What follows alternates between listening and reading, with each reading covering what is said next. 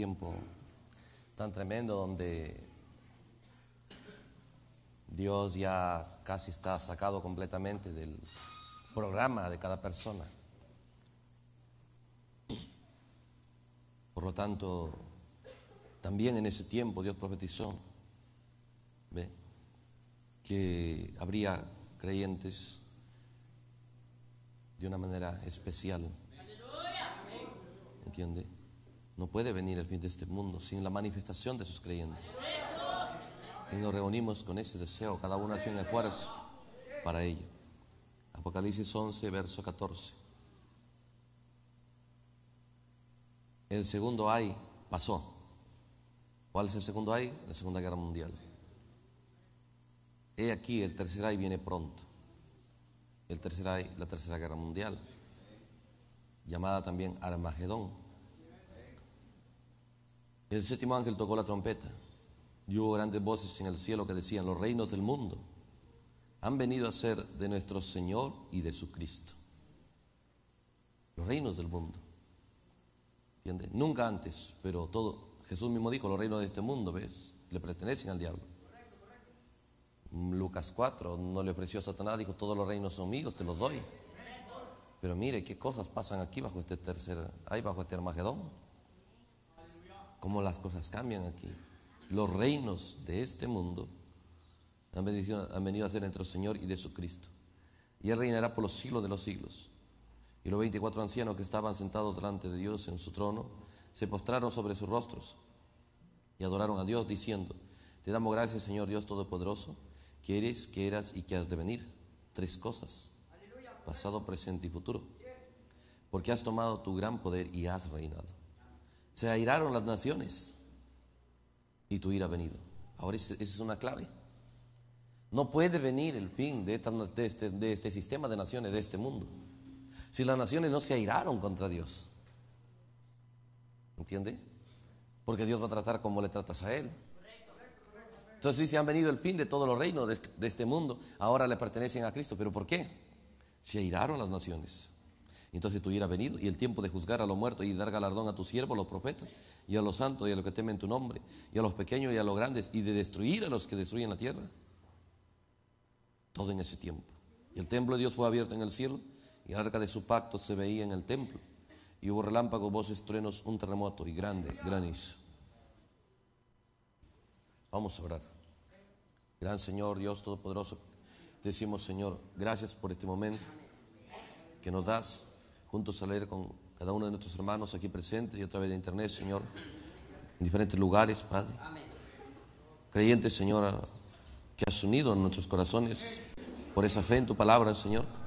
Te decimos gracias por ello, porque al leer estas escrituras, Señor, son escrituras tan solemnes, tan sagradas verdades tan, tan, Señor, gloriosas, que si logramos, Señor, llegarnos a ello con la actitud correcta, realmente sacaremos los beneficios de una manera real para el día en el que vivimos, Señor. Decimos gracias, Señor, por darnos este día.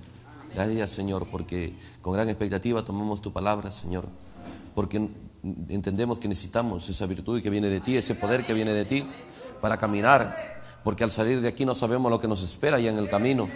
No sabemos los planes del diablo contra cada uno, Señor. Y cada uno debe ser consciente que necesita el poder y, el, armamento que viene de Dios para vencer. Por lo tanto, que cada uno, Señor, desee vestirse de esa real armadura.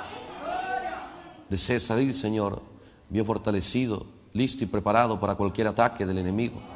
Para vencer, no solo para defenderse, para vencer, Señor. En el nombre de Jesús, que cada uno pueda entender, Padre que vivimos un día de la gran batalla jamás peleada. Por lo tanto, Señor, que cada uno podamos sacar el beneficio máximo de estos momentos, Señor, de tiempos así, de tiempos así, Señor, alrededor de la cual nosotros podemos mirar tu palabra, Señor. Que podamos sacar cada uno los beneficios de ello. En el nombre de Jesús te suplicamos y te damos gracias, Señor, por este tiempo. Amén. Dios bendiga a nuestros hermanos. Ahora...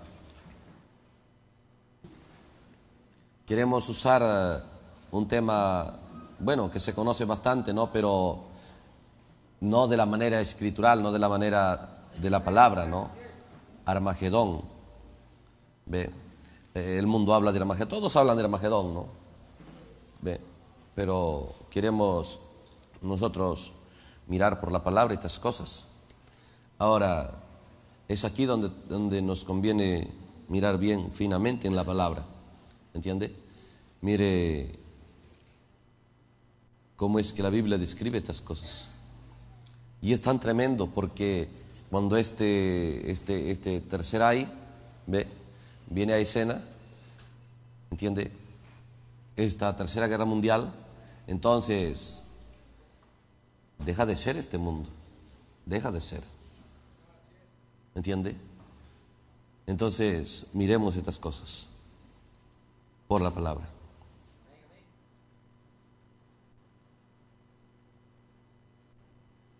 Pasó el segundo ay, pero viene el tercero. Es ahí donde nosotros encontramos después de que ha pasado el segundo ay, pero todavía no ha venido el tercero. Es en el tiempo en el que nos encontramos. Y en ese tiempo entonces empieza a soltar Dios la información de ello. ¿Ve? Entonces mire, mire su Biblia, lo que sucede ahí, ¿entiende? Tenemos el concepto general de las cosas. Primera hay, Primera Guerra Mundial, segundo hay, Segunda Guerra Mundial, tercera hay, Tercera Guerra Mundial, ve, quinta, sexta y séptima trompeta, los tres hay, ¿entiende? Pero especifiquemos un poco. ¿Entiende? Especifiquemos un poco. Mire, ve, cuando nosotros nos referimos al tercer ay, estamos hablando de la Tercera Guerra Mundial, en lo natural.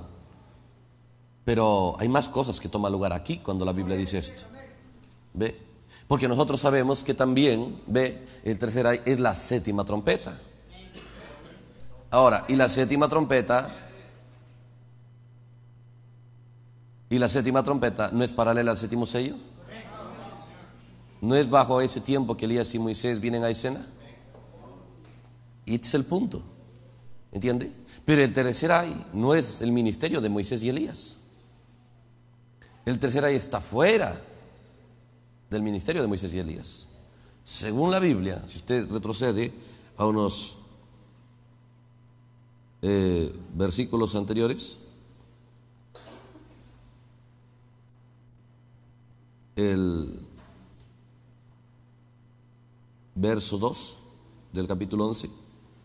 Dice, pero el patio que está fuera del templo, déjalos, no lo midas, porque ha sido entregado a los gentiles y, hoy harán la ciudad 42 meses, tres años y medio. Harán lo que quieren, ve, con esos atrios. Luego dice, daré mis testigos, mis dos testigos, Moisés y Elías, que profeticen, ¿cuánto? 1260 días, lo cual son 42 meses. O sea, ¿por qué la Biblia especifica estos datos? Mostrando que el ministerio de Moisés y Elías solo son tres años y medio. Armagedón es más allá de los tres años y medio. ¿Entiende? Armagedón no es el ministerio de Moisés y Elías.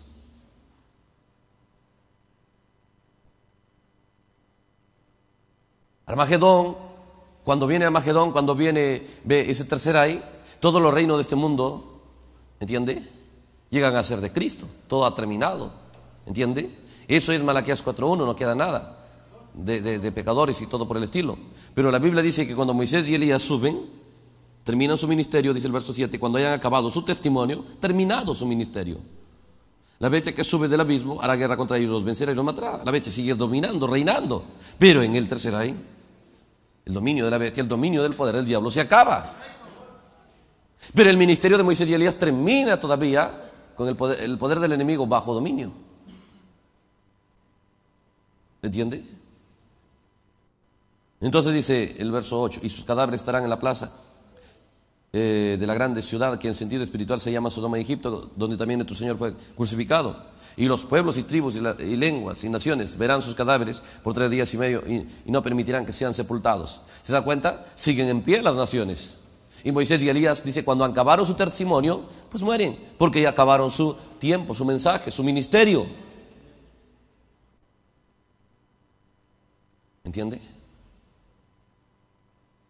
Ahora, si no pertenece, ve usted, ¿entiende? Ve el ministerio, al ministerio de Moisés y Elías, al ministerio de los judíos, ese tercer hay, entonces ¿a qué ministerio pertenece? ¿Entiende? Porque todas las naciones dejan de ser. Todo termina. Entonces leamos un poco unos capítulos más adelante.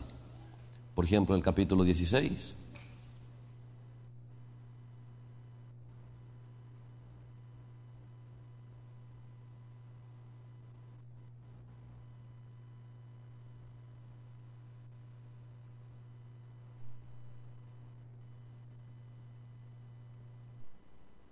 Oí una gran voz que decía desde, el templo de Dios a los siete ángeles, y derramad sobre la tierra las siete copas de la ira de Dios. ¿Entiende? Las siete copas de la ira de Dios. Y empieza copa tras copa. Una contaminación total. Entonces, cuando llegamos, ve al, verso 17, el séptimo ángel derramó su copa por el aire y salió una gran voz del templo del cielo, del trono, diciendo, hecho está. Entonces hubo relámpago, voces, truenos, un gran temblor de tierra, un terremoto grande, cual nunca jamás hubo de que los hombres han estado sobre la tierra. Y la ciudad fue dividida en tres partes, y la ciudad y la ciudad de las naciones cayeron, y la gran Babilonia vino en memoria delante de Dios para darle el cáliz del vino, del ardor de su ira, y toda isla oyó, los montes no fueron hallados y cayó del cielo sobre los hombres un enorme granizo como de peso de un talento y los hombres blasfemaron contra Dios por la plaga del granizo porque su plaga fue sobremanera grande. ¿Se da cuenta? Una ira de los hombres, una respuesta de odio, de rechazo a Dios. Por eso se airaron las naciones. Entonces vino una aniquilación, un juicio total. ¿Entiendes? Si nosotros retrocedemos incluso al capítulo 15, hay una descripción más. Dice el verso 1, vi otra señal en el cielo grande y admirable, siete ángeles que tenían las siete plagas postreras o finales, o finales. Porque en ellas se consuma, se consumaba, se termina, acaba la ira de Dios. Entonces Armagedón está conectado con las siete copas, las siete plagas, el, juicio completamente purificador de Dios. ¿Entiende? Entonces, entonces nuestra fe nunca será correcta. Tú dices, hermano, ¿y qué tiene que ver que yo conozca esas cosas? Tu fe está basada en la palabra pero en lo que entiendes de la palabra. Porque si te han hecho entender que hay tres dioses, ¿entiende? ¿Ve? Y, te han hecho creer en una palabra Trinidad, tú vas a creer eso pensando que es la palabra. ¿Ve? Pero si alguien viene y te dice, muéstrame si esa palabra existe en la Biblia, y tú vas a pensar, no, nunca vas a hallar eso. Entonces, ¿qué es? Tu fe no ha sido correcta. La instrucción correcta es importante para una fe correcta. ¿Ve? Si no vamos a estar haciendo que la Biblia se contradiga. Si usted, por eso usted se da cuenta, ve cuando, cuando usted le dice a alguien, mira, el bautismo como es en el nombre de Jesucristo. ¿Y por qué Jesús dijo aquí? ¿Entiende? Entonces empiezan a hallar contradicciones en la Biblia. Tú dices, solo hay un Dios. ¿Y por qué Jesús dijo, Padre, entiende, te pido? Y, luego el Padre dijo, este es mi hijo. ¿Por qué dijo eso? ¿Te das cuenta? Falta de instrucción, confusión en la palabra. Entonces dice, de esa manera no me queda otra cosa que aceptar que hay más que un Dios. Solo hay un Dios. A Jesús le dijeron, ¿cuál es el más grande mandamiento? Oye Israel, el Señor nuestro Dios, el Señor. Uno es. Digo, este es el más grande de los mandamientos. Pero te das cuenta, ese más grande mandamiento ha sido tirado al, tacho de basura. El mundo entero no cree en un solo Dios. Cree Dios Padre, Dios Hijo, Dios Espíritu Santo. ¿Entiende? Bueno, dice, pero los tres forman una unidad, forman una alianza, en otra como que fueran socios de una sola sociedad y representan, ¿entiende? Los tres dioses, un solo Dios y todo por el estilo. O sea, son, ideas, ¿no? ¿Ve? Pero es diferente cuando te entiendes, ¿ve? El mismo Dios condescendiendo. ¿Entiende? Dijo antes que Abraham fuese yo soy. ¿Cómo va a ser posible? No tiene 50 años y no lo podían creer. ¿Has visto al Padre? Sí, ¿me has visto a mí? No puede ser. Y, sus discípulos mismos eh, tropezaban en eso, ¿no? ¿Ve? Pero cuando el Espíritu Santo vino a ellos ya no hallaron tropiezo. No hallaron tropiezo. ¿Entiende? Eso es lo importante. Entonces, es importante mirar estas cosas porque si, si, nuestra fe no es correcta en la palabra enviada para este día, no puede ser correcta si el entendimiento no es correcto. Si tú tienes la palabra toda confusa, te dicen, a ver, háblame de tercera. Ay, ah, la séptima trompeta. Y luego te dice, la séptima trompeta es el ministerio de Moisés y Elías. Y el tercer ahí. ¿Entiendes? Pero es, importante que nosotros miremos a la luz de la palabra. ¿Por qué? ¿Entiendes? Porque en realidad el programa de Dios es uno. Es el séptimo sello, el programa del tiempo del fin es el séptimo sello. Pero Dios lo dividió en fracciones, lo dividió en, en- en partes y lo llamó ciertas cosas para entender. ¿Ve? Cuando va a orar con los judíos lo llamó trompetas, ¿entiende? ¿Ve? Cuando va a traer los juicios finales lo llamó las plagas de la ira de Dios. ¿Ve? Entonces, pero en realidad es el mismo programa. Solo depende a quién Dios lo está aplicando. ¿Entiende? Es el mismo programa. Entonces, al mirar estas cosas y al darnos cuenta que esto es las siete copas, ¿ve? Y nosotros vimos el propósito de ello. Entonces, volvemos y miramos aquí. Cuando Armagedón ocurre, todo deja de ser. Es una explosión atómica. Realmente hay más de, más de casi 50 mil bombas atómicas en todos los países. Porque, porque Rusia tiene casi 20 mil. Estados Unidos está por ahí cerca. Solo entre los dos países, nada más cuántos, cuántos miles de bombas atómicas con capacidad de 2.000, 3.000 veces más poderosa que, que, las que lanzaron en- en Japón. ¿Entiende? Ahora, eso está ahí. Entonces las explosiones atómicas, ve una reacción en cadena, luego los volcanes explotando, ¿entiende? La Tierra llega a un incendio total. Entonces eso te vuelve otra vez a Malaquías 4.1. No quedará ni raíz ni rama. Ese es Armagedón. ¿Ve? En Armagedón dice el profeta, Satanás queda completamente atado porque ya no le queda ni un súbdito. Ni un súbdito en el cual actuar. Todo desapareció. Ahora, ese es el programa de Dios. ¿Entiende? Y eso es lo que Él va a hacer. ¿Ve? Eso es lo que va a tomar lugar. ¿Ve? Pero ¿de qué nos conviene esto, es- estudiar el futuro? ¿Entiende? La palabra no es futura. ¿Ve? Está escrita en clave. Entonces, ¿ve? Porque nosotros entendemos el objetivo principal de la obra de Dios y de su programa es restaurar su novia. Ese es el objetivo principal. La tierra y todo ello es el objetivo secundario. ¿Entiende? ¿Ve? Es después. ¿Ve? Es una consecuencia de esto. Entonces, cuando miramos estas cosas, vemos cómo es que tomará lugar estas cosas. Una aniquilación completa, hermano. ¿Ve? Ahora, pregunta, ¿estará de acuerdo la gente con Armagedón? ¿Ve? ¿Te das cuenta que cuando, cuando llegue el tiempo de Armagedón, ya no importa lo que la gente sienta, lo que la gente desee, lo que la gente le guste? Completamente, ¿ve usted la soberanía de Dios se ejecuta? ¿La voluntad de Dios se ejecuta contraria a la voluntad de la gente? A Dios llega un momento de donde ya la opinión de la gente no cuenta. El deseo de la gente no cuenta. Los planes de la gente, todos los planes de las naciones, las decisiones de los gobiernos, nada para Dios cuenta. Pero eso no puede venir. No puede venir. Fuera de tiempo, fuera de su programa, fuera del proceso asignado. Porque para que eso ocurra, los reinos de este mundo vienen a ser de nuestro Señor Jesucristo, es decir, el reino restaurado, esa es la tercera fase. Porque la primera es restaurar el varón, porque Adán cayó y Cristo ya fue restaurado. ¿Entiende? Ahora escucha esta cosa, Cristo ya fue restaurado, Cristo es el, el- el postrer Adán, no lo llamó Pablo. El primer Adán cayó, entonces Dios levantó otro Adán, levantó a ese Adán. Y Cristo fue el postrer Adán aquí en la tierra. Pero cayó también una mujer, cayó Eva. Entonces tiene que haber una postrer Eva. Pero te das cuenta cuando se paró el primer Adán y actuaron igual. Él, él bajo la influencia de ella, ambos participaron de lo mismo error. Entonces para la restauración, en este caso, ya no él bajo la influencia de ella, sino ella bajo la influencia de él. Para la caída ella- era eh, él bajo la influencia de ella para la caída. Para la restauración es ella bajo la influencia de él.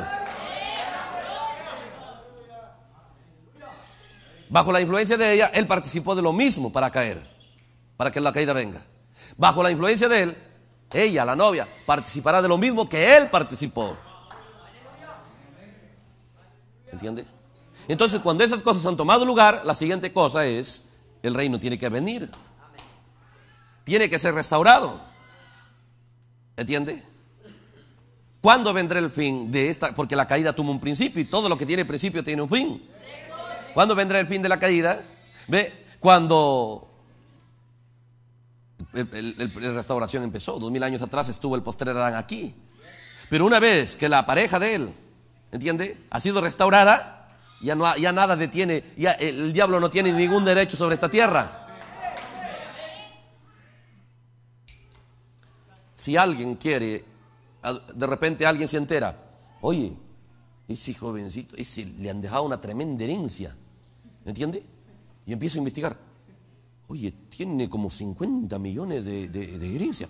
Ah, no, él se va, mira, y él se va con regalos y se va buscando ganarse su aprecio por lo que tiene ese. Y mientras lo tenga bajo su cuidado, bajo su dominio y él tenga, él sabe, yo participo de lo que él tiene. ¿Por qué crees que hemos entrado a un mundo? No era así. Estos dos mil años. Estos dos mil años la vida del hombre era difícil. Mira nomás en los días del profeta. ¿Entiende? La pobreza. Solo había dos, tres ricos en cada, en cada ciudad y punto. Todo lo demás eran pobres. Todo lo demás eran, ve usted, empleados, eran esclavos. Siempre ha sido así estos dos mil años. Pero en este tiempo, cada vez que la trompeta del jubileo sonaba, ¿Entiende? Si acercaba el tiempo, si acercaba el año 50, entonces, entonces el amo sabía, se van a ir los esclavos. Pero para que no se vayan, les voy a trabajar con los afectos. Mira, toma una esposa, cásate. ¿Ve? Y cuando se casaba, ahí ya tienen los hijos ya. ¿Entiende? Ahora, la ley, él sabía, la ley dice que si él entró solo, debe salir solo. Pero si yo le hago que tenga una esposa y tenga hijos, y cuando él se quiere ir, los hijos, los hijos van a decir, Llámalo, llámale a tu papá, papá. Entiende las hijitas por ahí llorando. Él va a decir, no puedo irme. De esa manera atrapo a mis esclavos. Y si él decide no ser libre, lo marco en el oído y listo. Ya, no, ya la trompeta, ninguna vez más la trompeta de jubileo servía, la trompeta de libertad. Por eso hoy, ¿entiende? Hoy tantas facilidades. Ahora, la gente no ve eso, no ve, la gente solo está viendo un mundo de oportunidades. No tienes para comprarte eh, el carro, no hay problema. Una inicial y listo. ¿Entiendes? Si quieres lo pagas en dos años, en cinco años, en diez años, en quince años, no hay problema, pero, ¿entiende? Dándote facilidades, buscando tenerte a ti satisfecho en este mundo, buscando convencerte que este mundo es un mundo bueno para vivir, que hay muchas oportunidades, muchas facilidades. Ah, pero no tengo esto, no hay problema, acá tienes tarjeta, puedes gastar y esto. Hoy un mundo de tanta facilidad para que tengas acceso a todo. Pero ¿por qué? Si estos dos mil años no era así en este mundo, ¿por qué hoy sí? Porque hoy está sonando la trompeta del jubileo. Hoy Dios está buscando decir, ha llegado el fin de este mundo. Pero la gente se olvida de su historia. La gente no retrocede y mira la historia. Mira nomás el tiempo de la colonización española. Mira cómo era la vida de la, de la, de la gente de aquí. ¿Ve? Todos venían los jefes españoles y venían y hacían lo que querían. Ve usted con, los colonos, con la, con la gente, entiende, que vivían en estos lugares. Violaban sus jovencitas, hacían lo que querían y que los esclavos los castigaban que trabajen hasta mano poder y cuando ya no podían los mataban, hacían lo que querían. Más de 200 años de colonialismo, no hace mucho. ¿Entiende? Ve. piénselo, no son, no son 200 años todavía que ha pasado eso. ¿Entiende? Después vinieron, ve usted, tantas cosas, ¿entiende? Entonces, ¿qué es? ¿Ve? Dos, tres, cinco personas nada más dueños de, tantos de tantos lugares, todo lo demás, ve, ¿entiende? Eh, trabajadores para esos hacendados, para esos terratenientes, para esos, ¿entiende? Poderosos. Pero ¿por qué 50, 30 años aquí cambió todas las cosas? ¿Entiende? ¿Por qué cambió? Por eso, por eso las leyes Dios dejó dijo, si el esclavo dijera, amo a mi amo. ¿Entiende? ¿Qué está buscando Satanás? Lograr que lo ames. ¿Entiende? Lograr que la gente esté satisfecha en este mundo. ¿Y lo ha logrado? El mundo se irá en pos de la bestia, escribió la Biblia. Dijo, el mundo se irá, estará maravillado y se irá en pos de la bestia. ¿Te das cuenta que el mundo ha sido convencido? El mundo ya no necesita a Dios. Antes la gente, todo el mundo respetaba a Dios. En el mismo Estados Unidos, veo un país tan culto, ¿entiende? Dice, le faltaba el respeto a un diácono, era dos años de prisión. Aún así sea en la calle que le falten el respeto. Esas eran leyes americanas. ¿Entiende? Pero hoy, ¿entiende? No existe. La palabra de Dios ya es algo ridículo. Porque la gente empezó, oye, no tienes casa, no te preocupes. A plazos. Y te, y te hacen esclavo para siempre y te motivan. Y la gente trabaja, sí, sí, tengo que reunir dinero, tengo, ya se cumple el tiempo de la letra. ¿Por qué? Te dicen, te motivan a seguir siendo esclavo. ¿Me entiende? Te motivan a seguir trabajando y todas esas cosas, ¿ve? Tú dices, no, pero ahora se ha hecho más bonito. ¿Por qué? Porque, porque hay intereses del diablo en que la gente esté satisfecha en este mundo. ¿Entiende?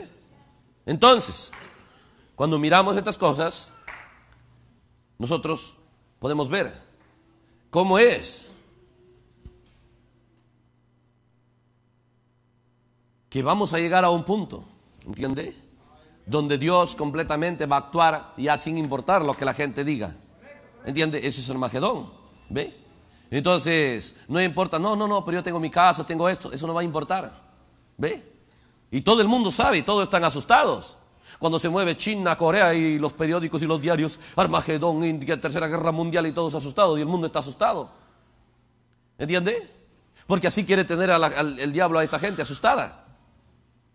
Por eso, mira las noticias que salen. Todas las noticias no salen noticias para, para animar a la gente a una vida moral, para animarlo a tener objetivos. Ya no, todos son programas. ¿Ve? Programas mundiales a través de la cual ve, los grandes líderes deciden qué país debe surgir y qué país no, qué país debe avanzar y qué país no. Que igual, iguales en cada país, qué ciudad debe, ser, debe avanzar y qué ciudad no. Eso se decide. Y eso se hace a través de programas educativos, ¿entiende? ¿Ve? Porque no importa si tiene más recursos este país, sino que hay intereses, ¿ve? ¿Entiende? Y de esa manera se programa, ¿ve? Se, se hace sus programas educativos, ¿entiende? puro teoría y dándole la vuelta nada más en un desierto, tantos años, para que después ya de, llegan a los 20, 30 años, ya se les ha ido la mitad de su vida, ¿entiende? Pero miren, en los otros países es diferente. En la escuela ya están sacando cosas que exportan a otros países, ¿entiende? Los niños están sacando cosas que exportan para que jueguen los adultos, ¿entiende? En otros países. ¿Ve? Ese es el programa educativo que hay, porque, ve, el potencial en realidad de cada lugar es su gente, pero su gente con entendimiento, con conocimiento, su gente capaz, entrenada. ¿Entiende? Entonces, ¿qué es? Ve, así es en lo natural. Entonces, cuando miramos aquí estas cosas, nos damos cuenta que la gente llega a una condición donde van a enojarse con Dios. ¿Ve? Se airaron las naciones. Entonces algo, algo, algo, ve usted, les llevó a que Dios ya no sea un agrado, que sino Dios sea una molestia para ellos. ¿No vimos anoche cómo es que era una molestia? Ve, Amos para Samaria. Y luego era una molestia Jeremías para Jerusalén. Entonces llegó el fin de Samaria y llegó al fin de Jerusalén. Entonces llegaremos a lo mismo cuando la palabra sea una molestia. ¿Me entiende? Pero escuche estas cosas. Esta es la clave. Usted no pierda de, vista a Jeremías y no pierda de vista a Amós. Jeremías y Amós son claves. ¿Entiende? Porque cuando antes que sean destruidos, ve usted Samaria y antes que sea destruida Jerusalén, ¿entiende? Dios envió la palabra encarnada a ellos. ¿Entiende? Eso es lo que era Jeremías, un hijo predestinado.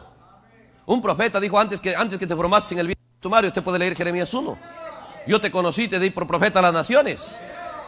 En un tiempo donde Dios iba, donde Jerusalén iba a ser pronto destruida. Pero para que Jerusalén sea destruida, tuvo que luchar y enojarse contra Dios. Pero Dios era Jeremías.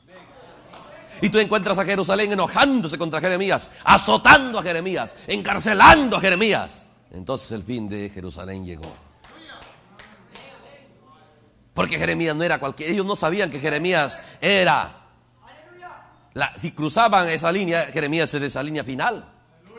Igual con Amós, profeta, y lo, y lo insultaron, lo menospreciaron. Hoy le dijeron, mira cómo te viste, dice aquí en la ciudad del gran rey, aquí no usamos esa ropa tan horrible, ándate allá al campo. Oye, campesino, oye, ignorante, y le dijeron, anda, profetiza por allá. ¿Eh? No soy profeta, dijo. ¿Ve? Pero aquí no profetices. Muy bien, dijo. Tú dices no profetices, pero te voy a decir, Dios les va a destruir y tú vas a morir y, el rey va a... Oh, hermano, ¿entiende? Lo mismo aquí. Este mundo no vendrá si primero no viene en escena lo mismo, la palabra hecha carne como en Jeremías, la palabra hecha carne como en Amós. ¿Entiende? ¿No dijo que Jesús que sería como en los días de Sodoma? Ve, para que el fin de Sodoma venga tuvo que haber la palabra hecha carne en Abraham. Uno que tenía nombre nuevo. Uno que tenía, ve usted, nombre nuevo, que tenía circuncisión. Génesis 17. Y uno que conoció los secretos de Dios. Génesis 18. Entonces, Génesis 19 tenía que venir el fuego. Igual cuando vino el diluvio, ¿me entiende? Tuvo que venir la palabra encarnada en Enoch, tanto que se fue en el rapto y luego en Noé, tanto que trajo a ese en el arca. Entonces ellos rechazaron eso y se burlaron de eso y menospreciaron a Noé y nadie lo creyó. Entonces era el, fin de ese mundo. Y el fin del mundo no puede venir hasta que la gente, ve usted, entiende, rechace la plenitud de la palabra, la plenitud. Porque una parte de la palabra, ¿quién no quiere? ¿Quién no quiere? Oye, hermano, dice, oye, ¿no quieres ir a la iglesia? Que rindas tu vida a Cristo. ¿Cómo tengo que hacerlo? Ir a la iglesia, es decir, unas cuantas oraciones y punto. Y no faltar nada más de irse en adelante congregarte. ¿Entiende? Toda la gente dice sí. Entonces una lluvia de religiones en el mundo. ¿Entiende? Una lluvia de, religión, de religiones, ¿entiende? ¿Ve? ¿Por qué? Por la oferta de cristianismo parcial. Pero Jeremías no trae un cristianismo parcial. Amós no trae un cristianismo parcial. Porque eso ya lo tenían. Ellos traen el cristianismo total, la plenitud de la palabra. Y cuando va a tomar lugar, ¿ve? ¿Entiende? Armagedón, entonces tiene que antes de eso haber tomado lugar. ¿Entiende? Haber tomado lugar. Antes de eso tiene que haber tomado lugar la palabra encarnada. ¿Y eso, ¿Y eso dónde? En la novia. Ahora, para entender estas cosas, escuche cosas. Dios lo dejó registrado ahí. Siga bien esto, no se pierda. Dios lo dejó bien registrado en la palabra, dio muchos datos. Para que esto ocurra, el protagonista de Armagedón es Israel. Datos claves. Porque, ¿dónde será esa gran batalla? En el valle de Megiddo. Todas las naciones, si quiere, usted puede, leamos lo mejor. Zacarías, eh, parece que es Zacarías 14.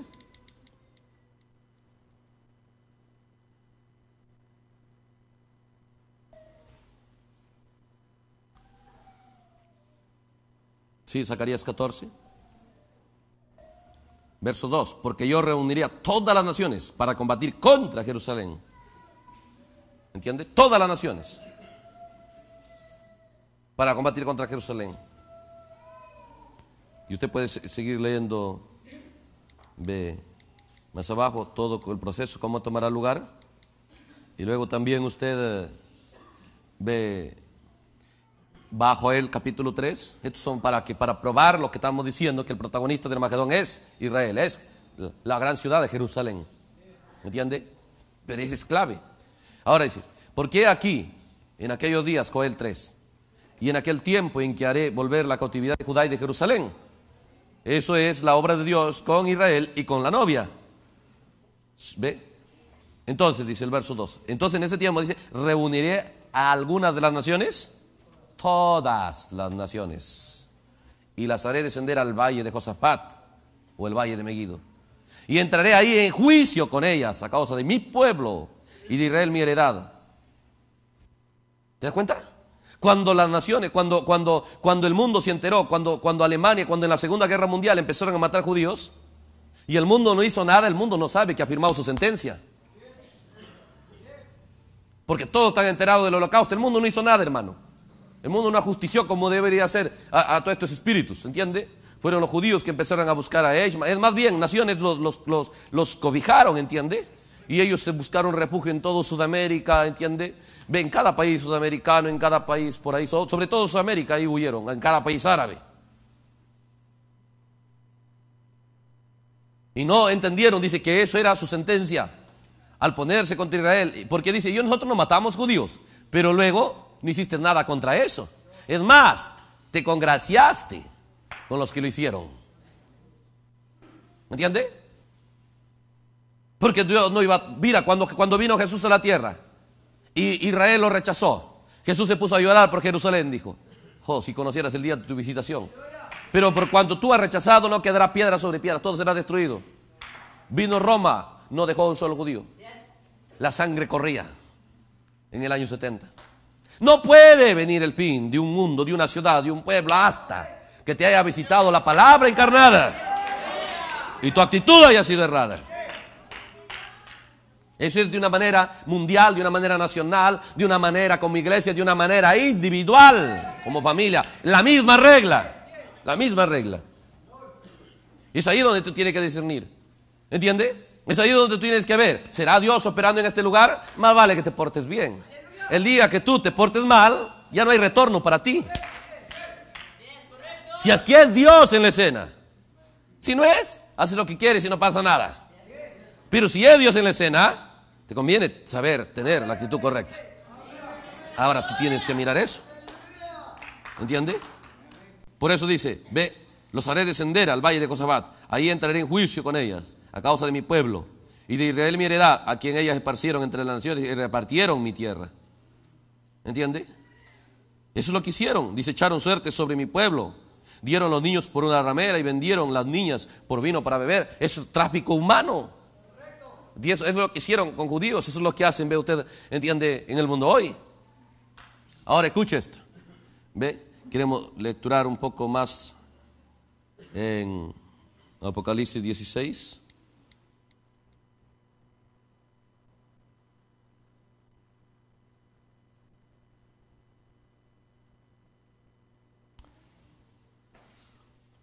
El verso 12, el sexto ángel tocó su trompeta sobre el gran río Éufrates y el agua de este se secó para que estuviese preparado el camino a los reyes del oriente. Y vi salir de la boca del dragón y de la boca de la bestia y de la boca del falso profeta tres espíritus inmundos a manera de ranas. Son espíritus de demonios que hacen señales y van a donde los reyes de la tierra, de todo el mundo. ¿Para qué? Todas las naciones. Todo esto está conectado. Lo mismo habla Zacarías, lo mismo habla Joel, lo mismo habla Apocalipsis. Es lo mismo, el mismo plan de Dios. ¿Ve? Para reunirlos. ¿Para qué? En todo el mundo a la, batalla de aquel gran día del Dios Todopoderoso. ¿Ve? Y luego dice el verso 16, y los reunió, tuvo éxito ese espíritu, en el lugar que en hebreo se llama Armagedón. Ahora, en Joel lo llama el valle de Josafat, ¿entiende? En Zacarías dice alrededor de Jerusalén, ¿ve? Pero aquí en Apocalipsis da más datos, dice, se llama Armagedón en hebreo. ¿Entiende? En otro lugar lo llama el valle de Megido. ¿Entiende? Entonces, cuando entendemos estas cosas, entonces, ¿qué es? ¿Cuál es el protagonista? Ve usted de este Armagedón, Israel. Ahora, mira cómo se está preparando la escena hoy, en este día. Mira cómo hoy se está preparando la escena. Porque ¿cómo va a ir todas las naciones se van a ir contra Israel de la noche a la mañana? No, pues. Tiene que, tiene que primero, no, Eva no vino de la noche a la mañana rápido, cogió del árbol, no. ¿Ve? Ella empezó, ve usted, a ser provocada hacia eso el deseo empezó a tomar lugar. Lo empezó a codiciar, lo empezó a anhelar, le empezó a enfermarse como Amón. Enfermo por las cosas cerradas. Lo anhelaba tanto, se le iba el hambre. ¿Entiende? Entonces, ve, igual, mira hoy. Cuando toda la escena hoy se está preparando para Armagedón. Y la gente teme, mira, cuando se mueve Rusia se asustan, cuando se mueve Corea se asustan. No, por ahí no va a empezar Armagedón. ¿Entiende? ¿Cuál es la escena? Cuando tú ves a, las naciones, tú ves a los países, tú lo ves a ellos, nadie está hablando a favor de Israel, eso es peligro. Porque espíritus del infierno han salido para ir a cada rey, a cada nación, a cada presidente de todo el mundo, a colocar en ellos un odio contra Israel. El odio llega a ser tanto que movilizarán sus ejércitos para borrarlos de la paz de la tierra. Ahora mira hoy. Entonces eso se trabajó a través de un sistema de propaganda. ¿Entiende? Se ha empezado a presentar a Israel como el malo, a Israel como los terroristas, a Israel como, como, los, como los genocidas, a Israel se le ha presentado de todo. Entonces cada país escucha sus declaraciones de cada gobierno. ¿Entiende? Todos tomando, ve usted, partido contra Israel. Israel está solo en el mundo, solo ahora, solo.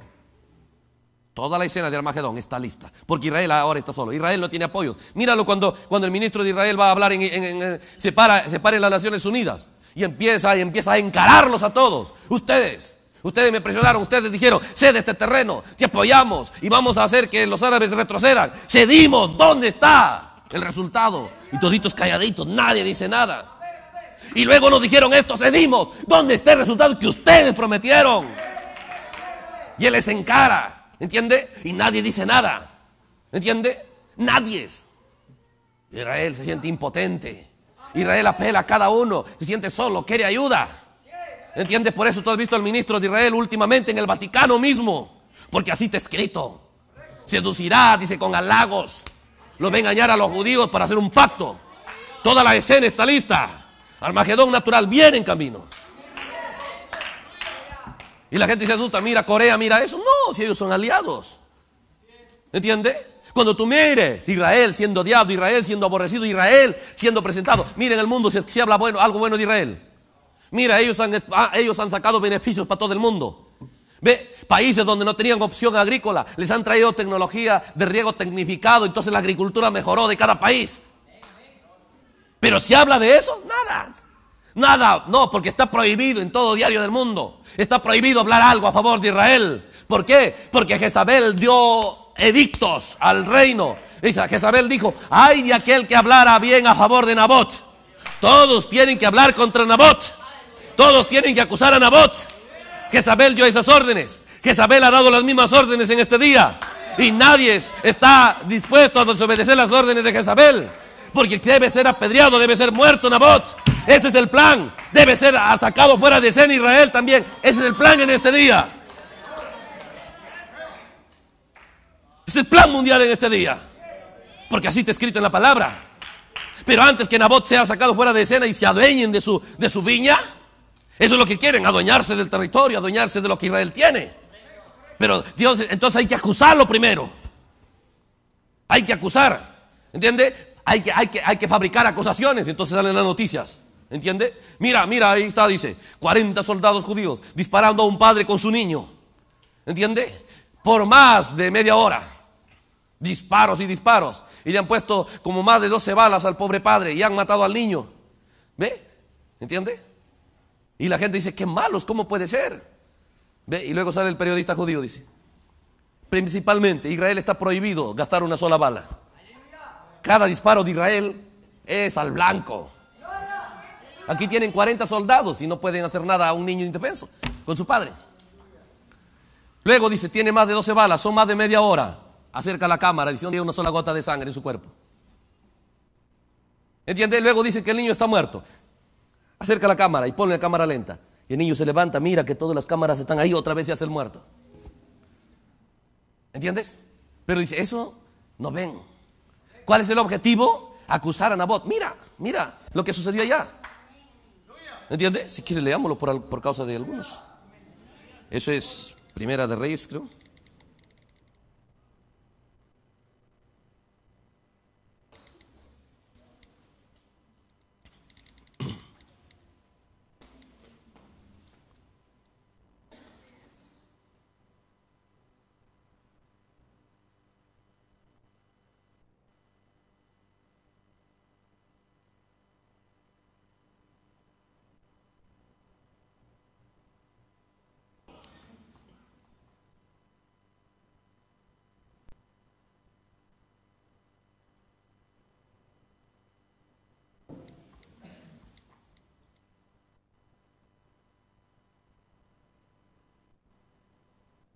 Capítulo 21 de Primera de Reyes, ¿no?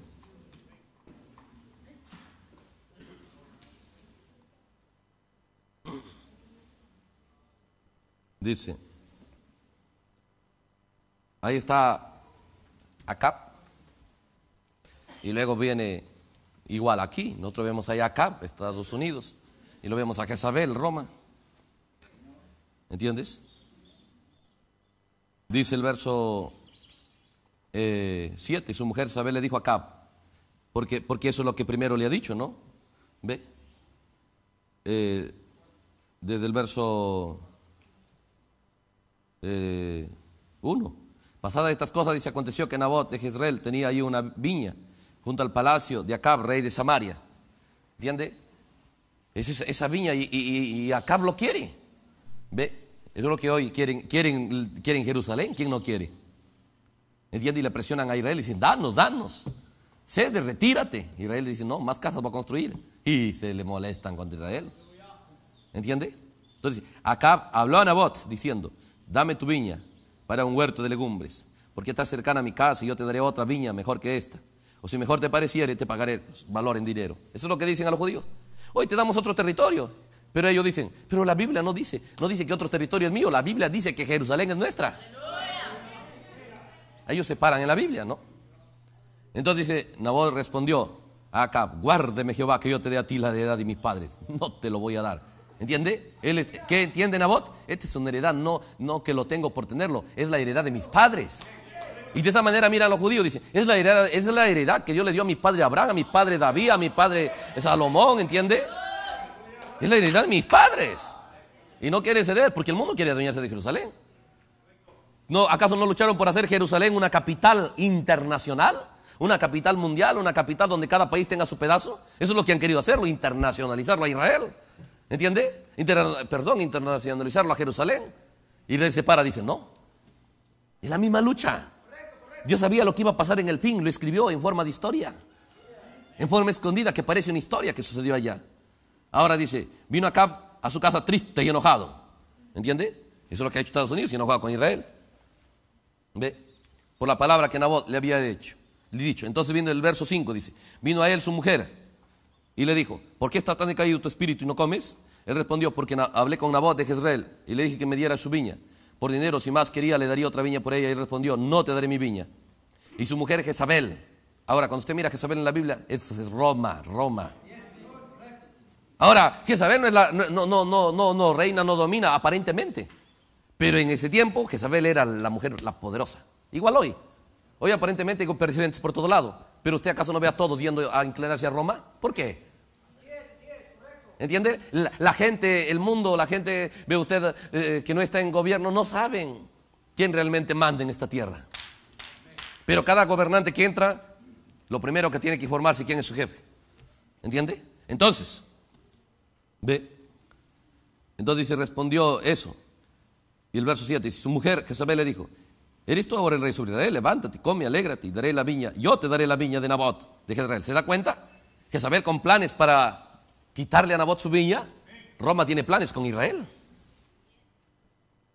¿Entiende? Ve. Pero está luchando. ¿Por qué? Porque, porque el profeta dice hay dos cosas. Roma se ha adueñado del oro. Llevo cuánto oro de Sudamérica. Eso sigue en las fuentes del Vaticano, ¿entiende? Entonces, entonces ve, ¿pero qué es? Los judíos tienen el dinero circulante, los judíos tienen los dólares. Y Roma está buscando hacer quebrar el dólar. Pero los judíos dicen, si tú quebras el dólar, yo retiro toda mi economía de Estados Unidos. Y Estados Unidos se cae, porque Estados Unidos no tiene economía. La única economía que tiene es la economía que los judíos tienen. Y están en ese chantaje, pero un día Roma los va a engañar. ¿Entiende? Entonces, cuando vemos eso, dice el verso 8, ¿cuál es el plan? Yo te voy a dar, dice, mire el plan ahora, verso 8. Entonces ella escribió cartas en nombre de Acab. ¿Te das cuenta? Ella no escribe, no escribe cartas en nombre de Jezabel. Por eso tú no has visto ninguna noticia que dice, así dice Roma, invadan allá. Nada, eso no, no, has visto. Pero las cartas salen como que fuera Acab. Pero no es Acab. Igual cuando tú ves, mire, Estados Unidos decretó bombardeo allá, decretó invasión en, Afganistán, decretó una invasión en Irak, toda esa cosa. Tú dices, mire, Estados Unidos, mentira. Así parecía. Mira lo que ha dicho Acab. No era Acab, era Jezabel usando la autoridad de Acab. Igual Jezabel hoy usando la autoridad de, la Acab de hoy. ¿Entiende? Entonces dice, escribió cartas en nombre de Acab. Dice, y la selló con su anillo, con el anillo de Acab y le envió a los ancianos, escucha esto, a los ancianos y a los principales que moraban en la ciudad con Nabot. ¿Entiende? Todos los principales, las Naciones Unidas, los presidentes, todos los gobernantes, todos. A todos ellos se les dio una orden. Todos los diarios, todos los, todas las, televisoras, todos los periódicos, ¿entiende? Todos los radios, todos tenían una misión. ¿Cuál era esa orden? ¿Ve? Proclamar ayuno y poner a Nabot delante del pueblo. Exhiban a Nabot. ¿De qué manera? Exhiban a Nabot. ¿Cómo? Poned hombres perversos, dos hombres perversos delante de él, que atestiguen contra él y digan, tú has blasfemado a Dios y al rey, entonces sacadlo y apedrearlo para que muera. ¿Qué es? Empiecen a exhibirlo a Nabot como el blasfemo, como el malo, como el delincuente, como el peor. ¿No ves hoy lo que está sucediendo, la misma escena? Para eso viene el mensaje. Por eso es que el mundo va a ser destruido, porque están buscando destruir al que Dios ha dicho que no va a ser destruido. ¿No entiende? Entonces las naciones se airaron. Se airaron contra Dios al airarse contra Israel. Ese es lo natural. ¿Entiende? Entonces, miramos esas cosas y vemos esas cosas tomando lugar. Muy bien. ¿Cómo es que sucederá? Armagedón. Ve, piense. Entonces mira a Israel. Mira el plan entonces para que Armagedón tome lugar. Lo primero que Dios hace, fiesta de las trompetas. Primero y segundo hay, para retornar a Israel a su tierra. Porque Dios tiene un plan con Israel. ¿Por qué Israel? Porque Dios tiene un plan con Israel. Porque ahí hay 144 mil que van a ser sellados, que van a recibir un mensaje. ¿Entiende? Pero para que esos 144 mil se encuentren con Dios, tienen que estar en su tierra. Pero para que estén en su tierra, tiene que ser nación. Y para que sean nación, tienen que lograr la aprobación de las Naciones Unidas. Por eso cuando tú lees la historia de Israel y miras la batalla para que las Naciones Unidas, ¿entiende? Les aprueben una opción de ser nación. ¿Entiende? No era fácil. No era solamente, ya bueno, no, no. Eran opciones en contra. Los árabes decían no. ¿Entiende? Entonces dijeron, muy bien, por cada voto árabe ustedes tienen que tener tres y, punto de, de votos. Si los árabes tienen 10, tienen que pasar de 30. Ustedes. Las hicieron muy difíciles. Lo justo había sido por uno a uno, ¿no?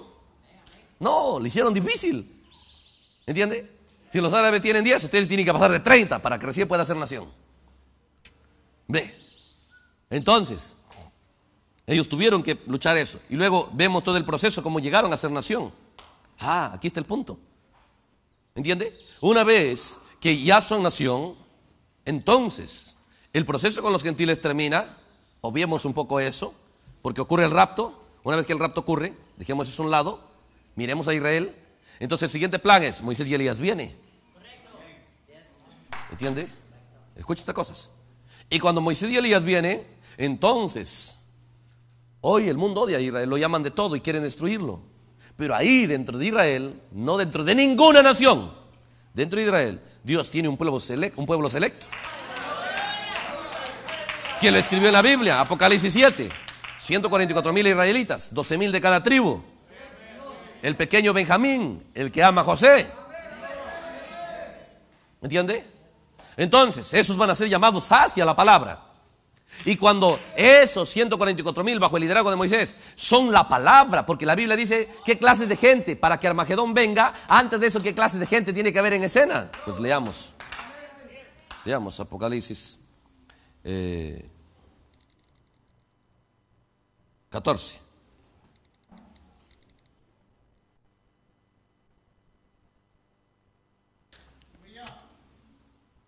Apocalipsis 14. Después, mire, he aquí, el cordero estaba en pie sobre el monte de Sión y con él 144 mil.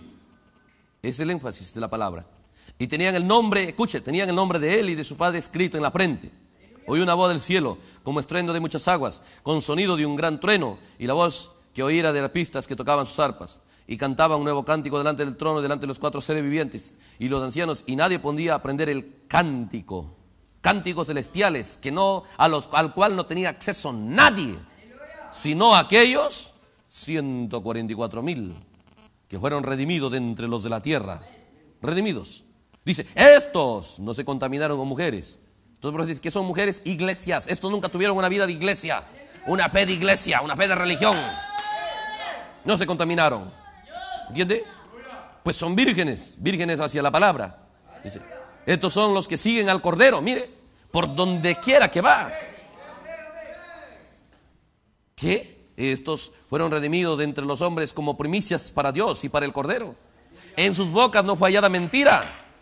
Estos son sin mancha delante del trono. Esta clase de descripción del pueblo que Dios sacará de Israel, caminando en la tierra, esta gente caminando en la tierra. Y cuando las naciones, la última cosa, primero se fueron contra, contra Israel natural.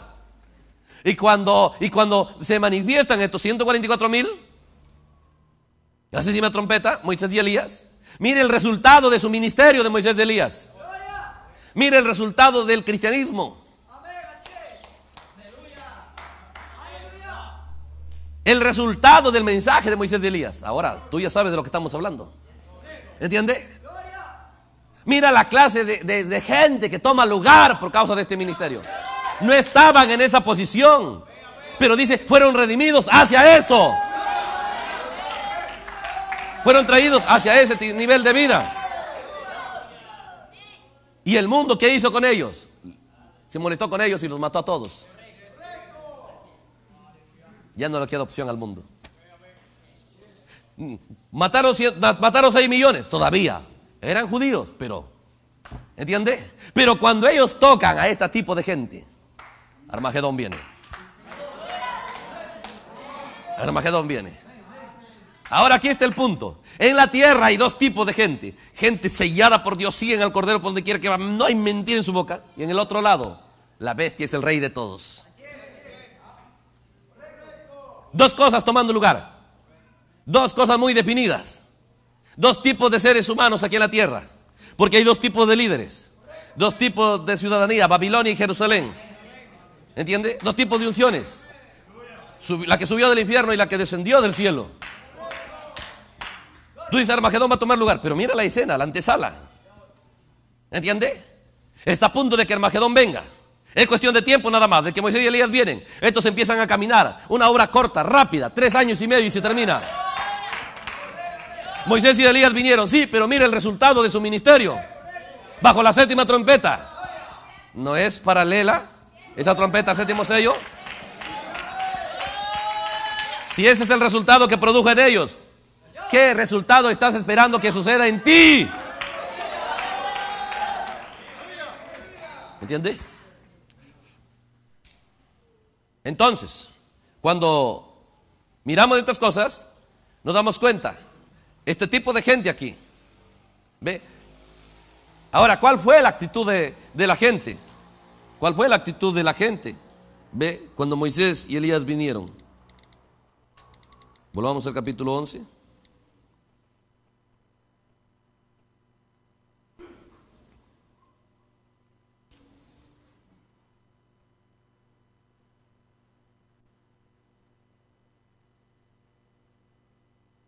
Dice el verso 4.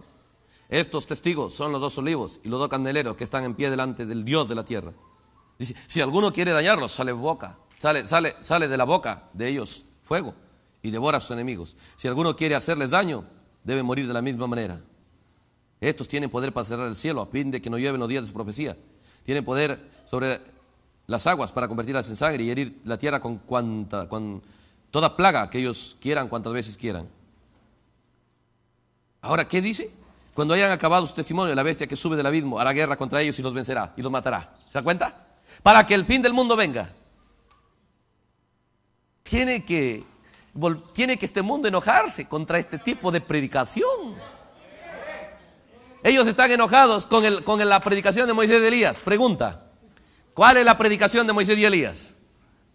¿No es el mismo mensaje del séptimo sello? ¿Hay otro mensaje? No hay otro mensaje. Pero cuando el mundo ataca a los portadores de este mensaje, se acabó todo. Ahí se acabó toda opción. Ahí se acabó toda opción. ¿Entiende? Toda opción terminó ahí. ¿Ve? Entonces dice, ¿qué es? Dice el verso 9. Y los de los pueblos, tribus, lenguas, naciones verán sus cadáveres por tres días y medio y no le permitirán que sean sepultados. Dice el verso 10. Y los moradores de la tierra se regocijarán sobre ellos y se alegrarán. Recuerda, Armagedón está a punto de venir. ¿Qué toma lugar? Un regocijo, una alegría. Por cuanto la palabra, el mensaje de la hora está siendo sacada fuera de escena. ¿Entiendes? Por eso escucha estas cosas. Nosotros tenemos que examinar. Ve.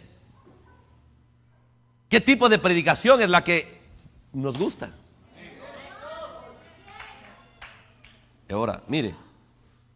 Dice el verso 10. Y los moradores de la tierra se regocijarán sobre ellos. Escuche. Y se alegrarán. Y se enviarán unos a, otros regalos. Dice, ¿por qué? Porque estos dos profetas habían atormentado a los moradores de la tierra. Aquí es donde entramos a un misterio.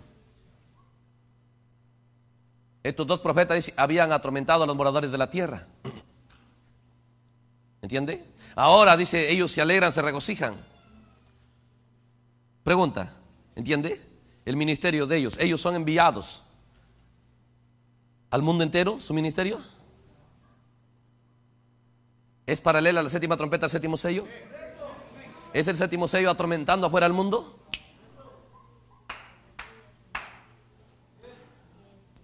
¿Entiende? Es- ¿Está la gente siendo atormentada por el, por el mensaje del séptimo sello?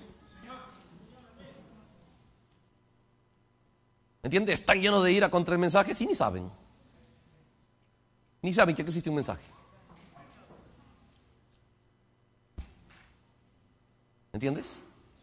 Dios no es alguien que envía su palabra, ve usted, para alguien que no conocerá estos secretos. Dios sabía el pueblo que iba a conocer estos, estos misterios, para ello le escribió. ¿Entiende? Cuando hablamos de Armagedón, poco, poco, poco nos importa, ve usted, estudiarlo de allá. ¿Entiende? Ve usted de una manera indispensable. ¿Por qué? Porque no sabemos, ve usted, nuestra estadía en la tierra, cuánto tiempo nos queda. ¿Entiende? Pero la realidad, al tomar la palabra, nosotros estamos buscando las escrituras para este día, para nuestro día. ¿Entiendes? Cuando nosotros vemos, escúchate cosas, vemos a, a, estos judíos, a estos 144 mil, ¿cómo lo ves? Lo ves, dice ellos, marchando detrás del Cordero por donde quiera que va. Tienen el sello de Dios, están de fiesta cantando cánticos celestiales. A esos cánticos nadie más tiene acceso, solo ellos tienen acceso. ¿Entiende? Ellos están marchando tan felices, gozándose con la palabra. Pero dice esta misma palabra, estos mismos profetas, que, que a ellos les ha traído la revelación de la palabra. Esa misma palabra, dice, para el resto de los pobladores era un tormento. La Biblia está revelando estas cosas porque alguien va a captar esto. ¿Entiende? Era un tormento, dice, los atormentaba, les molestaba, no les gustaba. ¿Entiende? Entonces Armagedón va a venir por causa de que la gente ha decidido molestarse con esa predicación. Ha decidido que ese ministerio de Moisés y Elías les molesta.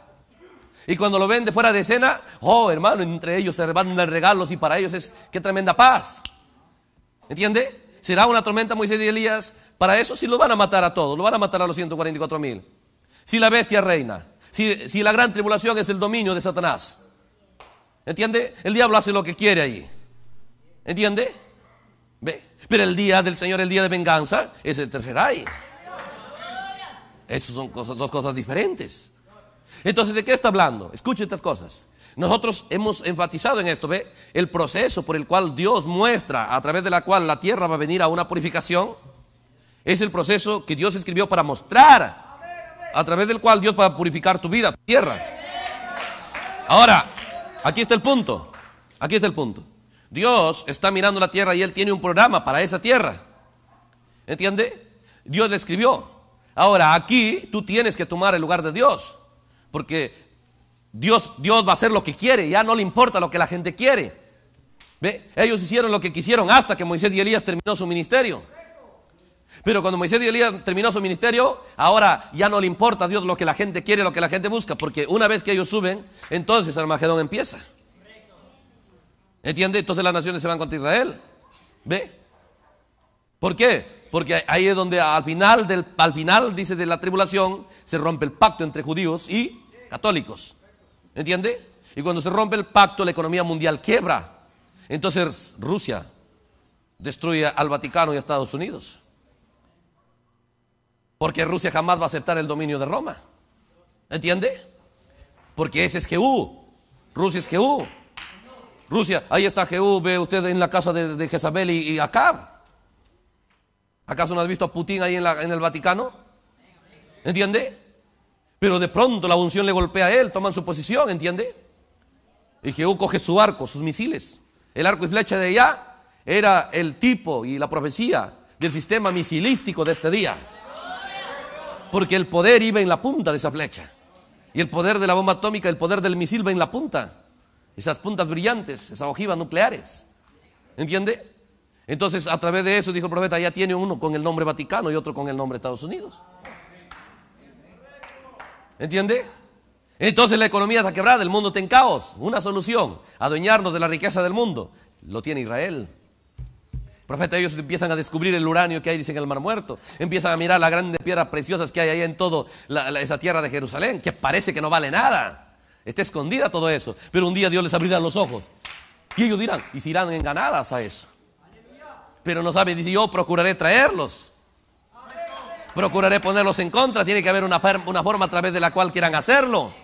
Porque esa tierra que parecía que no tenía nada, dos mil años nadie la quería. Ahora Israel se ha vuelto codiciable. ¿Entiende? Porque ese, ese mar muerto que estaba ahí sin explotar por dos mil años. Israel empezó a examinarlo y empezaron a sacar todos los fertilizantes, el potasio y todo ello. Y los, y los sirios vieron eso, ¿entiende? Y Transjordania miró eso y dijeron, yo también, ¿entiende? Porque les vendieron territorio y luego después, después la quieren quitar, ¿no? Entonces, cuando miramos estas cosas, es con el objetivo. Si nosotros buscamos solamente información, solamente saldremos conociendo un poco más, pero no sucederá nada en tu vida. ¿Ve? Pero al mirar estas cosas, este Armagedón que va a tomar lugar, ¿qué es? Dos tipos de gente aquí. Unos felices con el cordero, deleitándose con la palabra, y otros lo molestan, no saben qué hacer. Dos tipos de cosas. Cuando Dios muestra estos dos tipos, dos tipos de gente, el resultado de este ministerio en los dos tipos de personas aquí en la tierra, Dios está mostrando esos dos tipos de habitantes en tu tierra. que mientras no llegue este ministerio de Moisés y Elías a tu vida, todo parece que somos somos seres humanos, todos somos eh, un mundo bonito y feliz. Pero cuando Moisés y Elías viene, cambia completamente la posición de la gente. ¿Entiende? Y, y, empieza cada uno a mostrar su aprecio y su menosprecio por el ministerio de Moisés y Elías. ¿Entiende? Entonces, que es, pero no serán derrotados, no saldrán de escena hasta que su ministerio haya terminado. Hay un tiempo asignado para ese ministerio. ¿Entiende? Entonces, ¿qué sucede? Cuando ellos toman su decisión, su opción, vienen, les presionan, los matan, hacen lo que quieren, ellos nunca pierden su gozo, su cántico nuevo, su alegría. Entonces, los otros mostraron su ira, su enojo. La siguiente cosa que ocurre, ellos están festejando todavía, porque todavía alcanzan un poco de festejo, ¿entiende? de la novia ya. Ellos son arrebatados. ¿No es arrebatado Moisés y Elías? Y se van. ¿Y qué empieza a suceder con los demás? ¡Pum! Las bombas atómicas empiezan. Entonces la gente está caminando por acá, la radiación, los volcanes explotando, el, caos, las grandes ciudades, ¡bum! ¡bum! Las bombas. ¿Qué están haciendo los 144 mil que siguieron al Cordero? Festejando con la novia, encontrándose allá. ¿Entiende? Ahora escucha estas cosas. Pero ambos tuvieron que tomar su posición. Ambos tuvieron que tomar su decisión. Ambos tuvieron que tener la posibilidad hacia esa palabra. ¿Entiende? ¿Qué es lo que muestra la palabra? Escucha estas cosas. Ve, mientras, mientras ese Armagedón viene, ¿entiende? La novia y los 144 mil están juntos. Ve, están fuera de esta tierra, fuera de este mundo fuera de este cuerpo.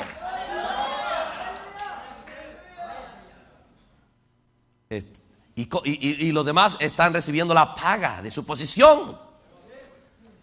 Están recibiendo el salario de haber luchado para ello, porque fue a contratarlos. Estos espíritus inmundos a manera de ranas fueron a contratarlos. ¿Para qué? Dice para reunirlos en Armagedón. ¿Pero para qué es eso? para ponerse contra Jerusalén. En otras palabras, fueron para contratarlos para odiar Jerusalén. ¿Para qué? Para querer destruirlo. Eso sucede en el mundo allá afuera. Esa es la escena mundial allá. Es lo que tomará lugar. ¿Ve? Y eso es fácil. Pero solo la novia va a poder aplicar esa realidad. Solo la novia. Y es aquí donde usted tiene que captar estas cosas. Escucha esto. Cuando nosotros Vemos esto. Entonces, para que tome lugar estas cosas, para que estos 144 mil terminen disfrutando allá esa eternidad y esa redención, ese rapto, ese poder resurrectivo, todo, primero tuvo que haber gente laborando para regresar a su tierra. Luego tuvo que haber gente peleando para permanecer en su tierra. Porque después que fueron nación, todos los días tienen que pelear para permanecer en su tierra. Porque todos los días están jurando sacarles fuera de su tierra. ¿Entiende? Mira eso. Entonces es ahí cuando están en su tierra, ¿entiende? Dios termina el proceso con los gentiles, viene y empieza a tener un proceso con ellos. Trae un mensaje y luego ellos mira, mira el resultado de su decisión a favor de esta palabra. La Biblia lo empieza a describir. La Biblia no habla tanto de 144 mil, que no es lo importante en realidad. La más importante en categoría es la novia. Pero Dios escondió el misterio porque la novia tiene percepción profética. Eliezer no tiene que decirlo claro a Rebeca las cosas. Eliezer, eh, Rebeca capta lo que Eliezer lo tiene escondido. Igual, hay cosas escondidas en la Biblia. Pero la novia puede captar estas cosas. ¿Entiende? ¿Para qué? ¿Solamente para saberlo? Para saber traer a escena resultados de vida eterna en nosotros. En nosotros. ¿Entiende? Entonces, cuando miramos esto nos damos cuenta, muy bien. Entonces, ¿qué es? Lo primero que tiene que suceder, tiene que haber gente luchando por lograr traer a escena, ¿entiende? Una tierra en la cual ya no tenga, ya en lo cual ellos sean libres. Porque ¿qué es traer a escena una nación? Un territorio en lo cual, dicen, esta es nuestra frontera. No la puede violar cualquier país. Y en el momento que la violan se atendrán a las consecuencias. Y cada vez que los sirios por ahí mandan unos aviones, Israel lo baja. Y nadie tiene que decir nada porque han violado frontera israelí. ¿Entiende? Ahora tienes, ahí hay libertad en su tierra. ¿Entiende? Entonces, ¿qué es? Para que eso tome lugar, tiene que haber gente luchando por un territorio escritural, por una atmósfera, por una frontera divina. Y tienen que estar dispuestos a no permitir que el enemigo viole tus fronteras. Porque el enemigo no viene a visitarte, no viene a tener relaciones de paz contigo. El enemigo viene a buscar dónde lanzar sus misiles. Y tú tienes que entender, tiene que haber gente así. Cuando, por eso dijo, prende de la higuera. En esa condición en las que ellos están luchando. Ellos están cuidando sus fronteras para mantener a su gente segura allá adentro. Los verdaderos israelitas de hoy. Tienen que estar las águilas de hoy vigilando su espacio para que la gente esté segura en la palabra. Para que pueda disfrutar la vida en la palabra. ¿Entiende? Piénselo. Cuando Dios encuentra un pueblo así, una vez que la gente entra en la palabra, ahora sí el diablo va a jurar que te va a sacar de la palabra. Como jura todos los días, lo voy a sacar de tu tierra, Israel. Les voy a sacar de la tierra, les voy a borrar de la paz de la, de la, de la tierra. Así jura el enemigo todos los días. Pero hay gente que dice, piensas que lo vas a lograr. Pues yo voy a pelear. ¿Entiende? Armagedón va a venir por ese proceso. ¿Entiende? Entonces, ¿qué es? No es solo una amenaza, es algo real que le sucede a ellos. Es algo real. Entonces ellos están peleando todos los días. Entrenan sus niños, entrenan sus todos los días. Ellos tienen, sus niños tienen que ser conscientes. No confíes con nadie. ¿Entiende? Le enseñan ciertas claves. ¿Ve? Le, le enseñan ciertas cosas para detectar, porque ahí se infiltran espías. Se infiltra gente, ve usted, o de repente con apariencia de mujeres embarazadas o de, niños, de un momento a otro, ¡bum! bombas humanas. Entonces cada uno de los niños, niños, cada los judíos entienden, tengo que entrenar a mis niños en la escuela para que sepan en cualquier momento, en cualquier situación, qué hacer para preservar su vida. ¿Entiende? Tienen que enseñarlos a no confiar con nadie, tienen que enseñarlos a cómo actuar, tienen que enseñarlos, ve usted, quién es su enemigo. Tienen que enseñarles el plan del enemigo. ¿Entiende? Esa es la situación en la que Israel vive. ¿Entiende? Ahora, capte estas cosas. ¿Qué hacen los padres de hoy? ¿Acaso, ¿Acaso no saben que el diablo tiene planes? ¿Entiende? ¿Acaso no tiene planes para bombardear cada escuela? Entonces, ¿qué hacen los judíos? Dicen, ¿dónde están nuestras escuelas? Muy bien, la vamos a cuidar, la vamos a proteger, nuestros niños, ¿entiende? Planes de sistema, un sistema defensivo. Y luego uno de ataque, uno, un sistema de espionaje para descubrir cada plan del enemigo. Es en esa condición que Israel está, es en esa condición que Moisés y Elías va a venir.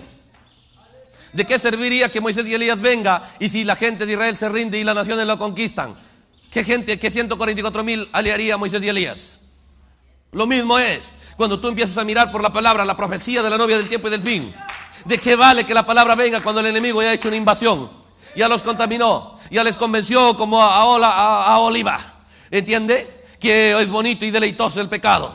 Y que la cosa cerrada si todavía puede ser israelita. Entonces no va a tener efecto el mensaje de Moisés y Elías. ¿Entiende? Pero Dios al revelar el efecto y el resultado del, Moisés- del mensaje de Moisés y Elías es para decirte a ti el resultado que debe tener en tu vida. El mismo mensaje. El mismo mensaje. El mismo mensaje. ¿Entiende?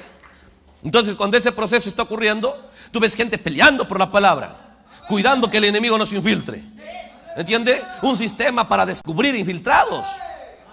Un sistema contra espionaje. Ellos tienen que tener eso. Porque saben, el enemigo se infiltra, quiere descubrir nuestras armas, quieren descubrir nuestros secretos. Ve, ahí infiltraron una con, uno, con unas caricias como Dalila para descubrir el sistema de poder de Sansón. ¿Entiende? Y Sansón no tenía un sistema contra espionaje. Y Sansón, el águila, el de la tribu de Dan, mostrando que si no tenemos ese sistema terminaremos ciegos, siendo la burla del diablo. Pero Dios dijo, en medio de todo eso habrá un pueblo que clamará una vez más, Señor. Una vez más. Es ahí donde el profeta dijo, cabalgaré una vez más.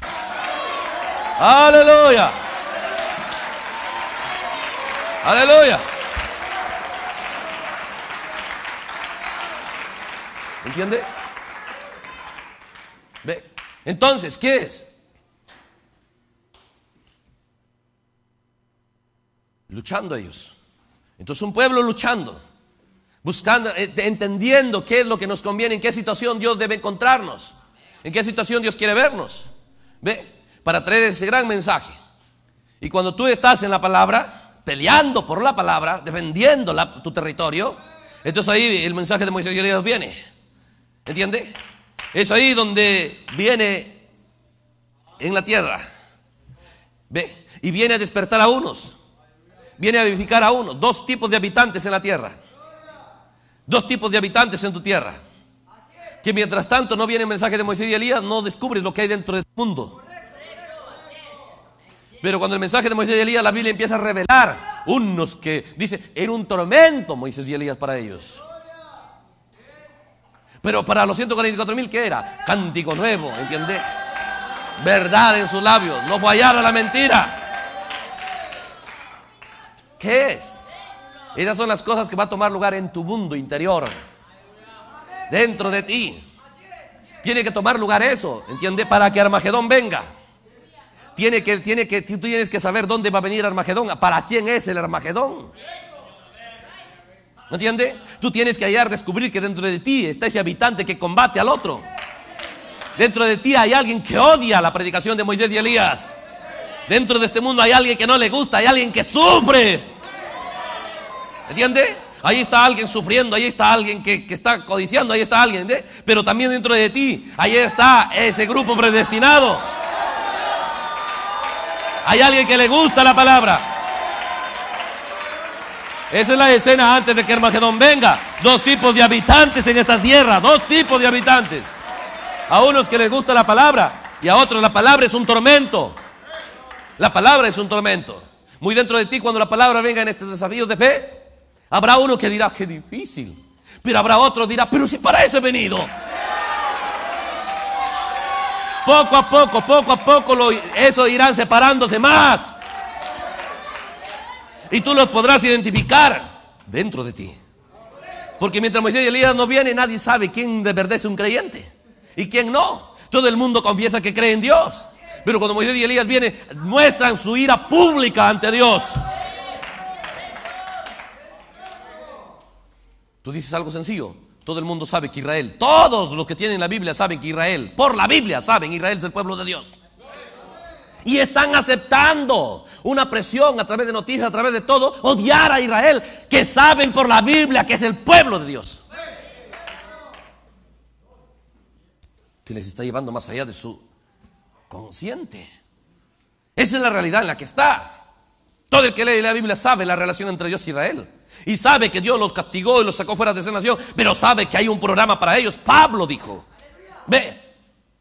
Han sido cortados por su rebelión. Pero dijo una vez que Dios termine con los gentiles, serán injertados otra vez. Cualquiera que tiene li- Biblia puede leer Romanos 9, Romanos 10, Romanos 11. ¿Entiende? Pero que a la gente ya no le importan las verdades contenidas de la Biblia. Le están dando más credibilidad a las naciones, a las voces de Jezabel. La gente sabía que Nabot era un buen ciudadano. Pero las presiones y las órdenes de Jezabel pudieron más. No hubo nadie que se pare por Nabot en aquel día. Como en este día no hay nadie que se pare por Israel. Pero ahí estaba Elías y vino y dijo, por cuando has hecho eso, el juicio viene a ti acá. El juicio viene a ti, Jezabel. La sentencia vino por eso. ¿Entiende? Entonces, ¿qué es? Mira esa escena. El mensaje viene y empieza a tener efecto solo en 144 mil. ¿Entiende? Y luego en el remanente, tres cosas bajo la gran tribulación. ¿Ve? 144 mil. La Virgen es fatuas. Y la tierra va a ser purificada. ¿Entiende? Entonces, ¿qué es? Ve, primero tiene, tú tienes que empezar a ver dentro de ti. Porque, porque el hombre, cuando la palabra viene, cuando tú empiezas a entrar al mensaje como debe ser, el hombre viejo va a sufrir una gran tribulación. Va a sufrir un gran tormento. Porque va a quererse hacer sus cosas. ¿Entiende? Pero dentro de ti se ha elevado en una posición de autoridad el alma. Donde ya no le va a dejar al hombre viejo hacer lo que le da la gana. Comportarse como quiere. Y va a ser atormentado en gran manera. Porque hemos recibido instrucciones desde niños para hacer las cosas de la manera mezclada. Un poco del bien, un poco del mal. Y el hombre, el hombre, el hombre viejo, el, el hombre errado dice, ya está bien, está bien, te permito un poquito. Pero ahora sí déjame a mí. Ahora sí te toca a ti, se divide en el tiempo.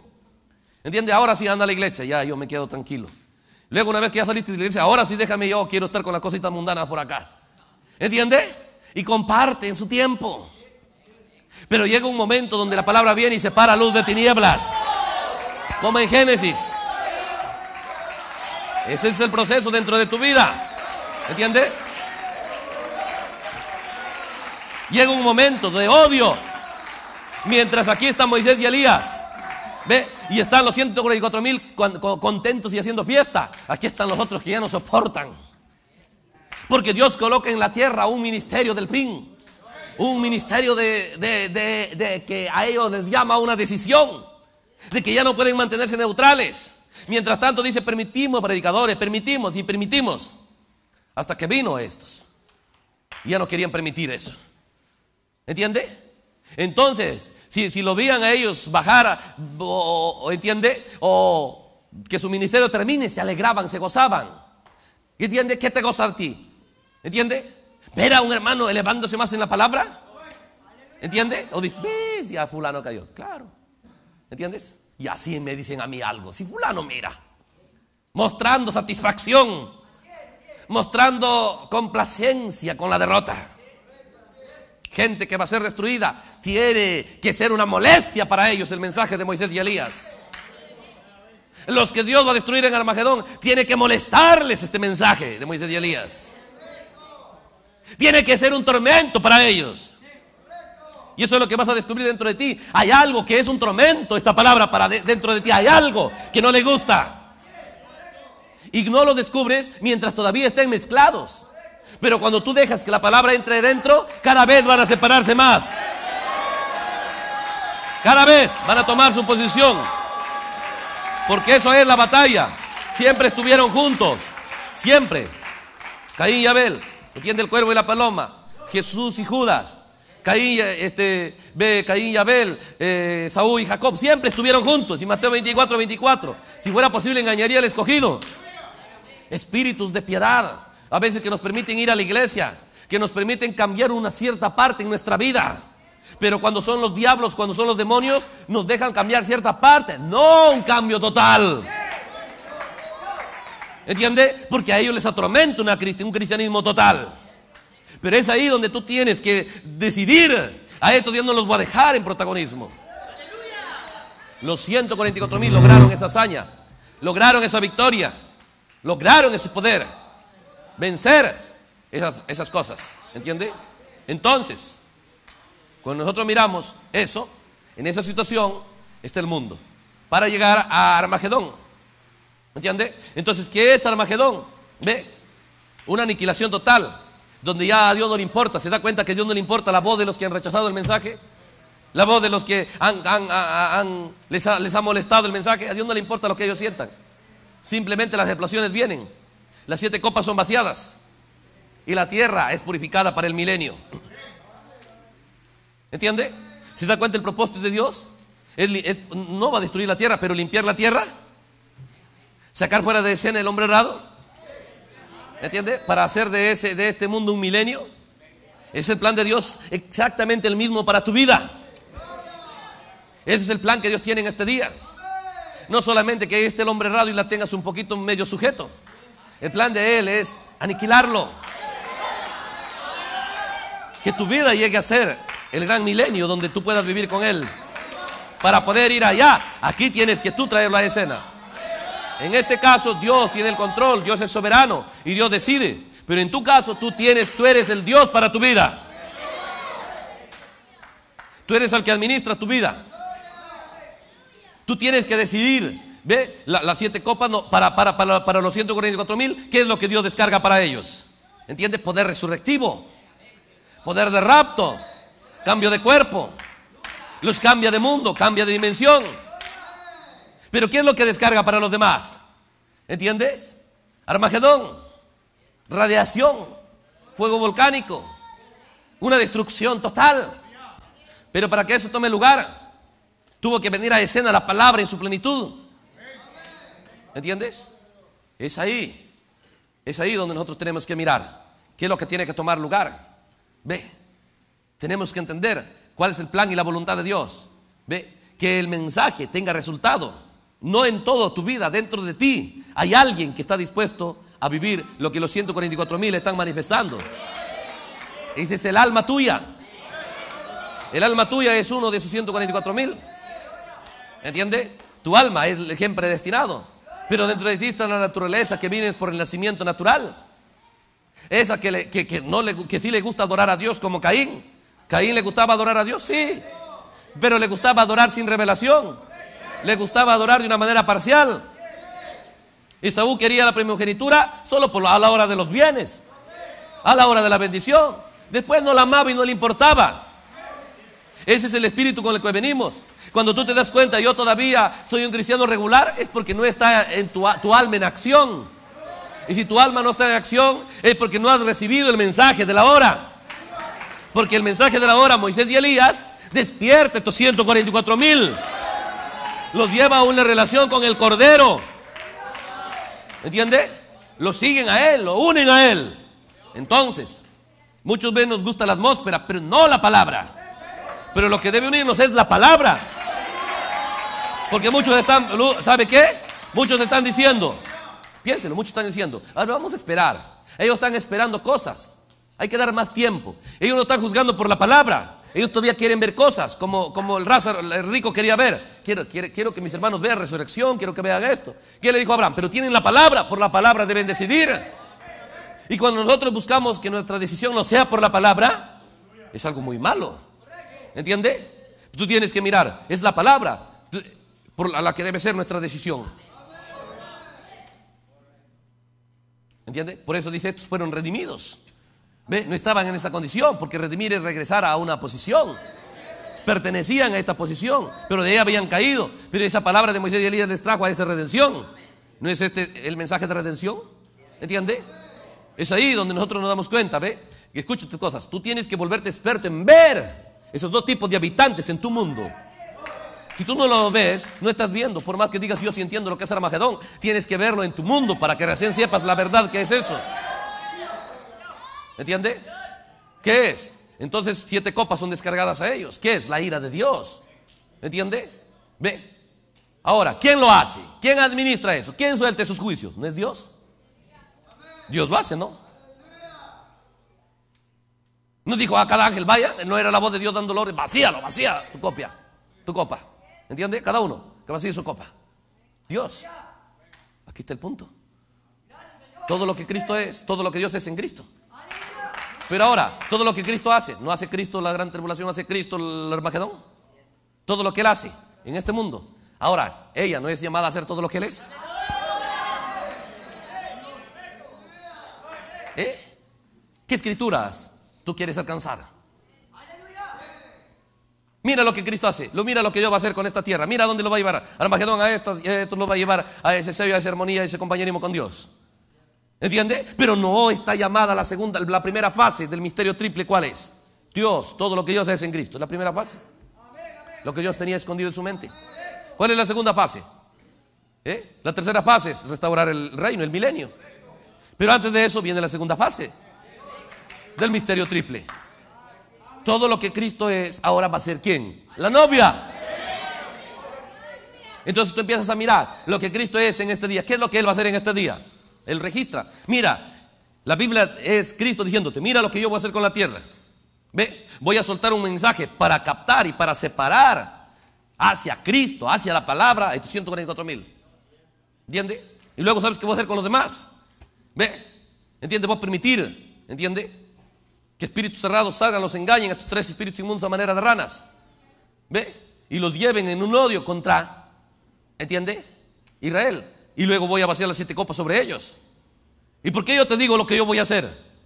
Porque en mi programa te toca así a ti ahora hacer lo que yo hago. Entonces lo mismo tú. Tú empiezas a identificar ese habitante incrédulo, ese habitante errado dentro de tu vida. Y por la palabra, al mirar lo que Dios va a hacer con este mundo, tú sabes lo que tú debes hacer con tu mundo. Esta es, la, esta es la hora donde tú tienes que recibir y creer esas cosas. Porque esa es la segunda fase. Y tú si tú te rehusas a ello, simplemente has rechazado el programa de, de Dios en su segunda fase. No hay opción de la tercera. Por más que creas la primera. Definitivamente lo hizo, pero la primera no nos incluyó. Pero Dios nos está incluyendo aquí en su segunda fase. Antes de la tercera. ¿Entiende? Entonces, él empieza a registrar, la Biblia empieza a mostrar estas cosas. ¿Para qué? ¿Para darnos información? No. Porque Él sabe que nosotros necesitamos saber qué hacer en este día. ¿Entiende? Es ahí donde nosotros miramos. ¿Qué es? Moisés y Elías viniendo con un mensaje. ¿Entiende? Con una predicación. Que dice, dice, dice, ¿cuál era el resultado? Dice, no se contaminaron con mujeres. Pero tuvo que haber una predicación que les diga eso entonces vino Moisés y Elías con una predicación. ¿Entiende? Nunca vivan una rutina de iglesia. Destruyan todos los costumbres de iglesia. Saquen fuera de escena todas esas plagas de iglesia. Sean cristianos. Que la verdad esté en su boca. Porque eso es lo que la Biblia dice que ellos lograron. Eso es lo que la Biblia dice que ellos alcanzaron. En su boca no fue hallada mentira. Pero no pueden obtener algo si no se les instruye primero. Entonces podemos ver qué predicó Moisés y Elías. ¿Entiende? ¿Cuál era su énfasis? ¿Entiende? Su énfasis era, dijo, tienen que ustedes ser sellados. Y para que sean sellados, tienen que arreglar el vagón del tren. Porque el que va a sellar lo va a mover por todo lado. Para ver si no se va a desbaratar. ¿Qué es? Dios va a soltar demonios, diablos, espíritus que te seduzcan, que te propongan cosas raras, que te sacudan. Y tú tienes que mostrar que estás seguro en la palabra.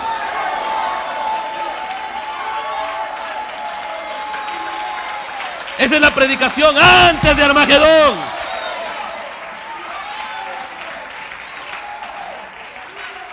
Dios está mostrando lo que se debe predicar a través de Moisés y Elías, porque la séptima trompeta es paralela al séptimo sello. El ministerio del séptimo sello está revelado bajo el ministerio de la séptima trompeta. La predicación del séptimo sello está revelado ahí bajo la séptima trompeta. ¿Entiende? Tú dices, no, ellos lo hicieron por hacerlo. Nadie puede lograr logros sin una predicación. ¿No leímos? ¿Cómo es que a Oliva se contaminó tanto? Porque se le predicó a través del mal ejemplo de Ola. ¿Y cómo es que Salomón llegó a tanta sabiduría, a, tan deseo grande de tener sabiduría? Mire Proverbios 4.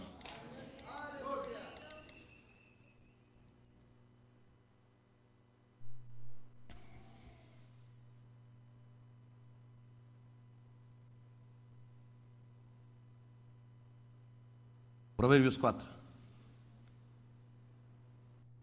Hoy dijo la enseñanza de un padre y atender a estar atentos para que conozcáis cordura. ¿Entiende? Un padre también tiene que ver con un predicador. ¿Entiende? Que os doy buena enseñanza. No desamparéis mi ley. Dice, escucha esto. Porque yo también fui hijo de mi padre. David. Ahora dice, ¿qué hacía David con Salomón? ¿Qué hacía David con sus hijos? ¿Qué les enseñaba? ¿Qué les predicaba? Yo fui hijo, dice, delicado y único delante de mi madre. Pero él me enseñaba.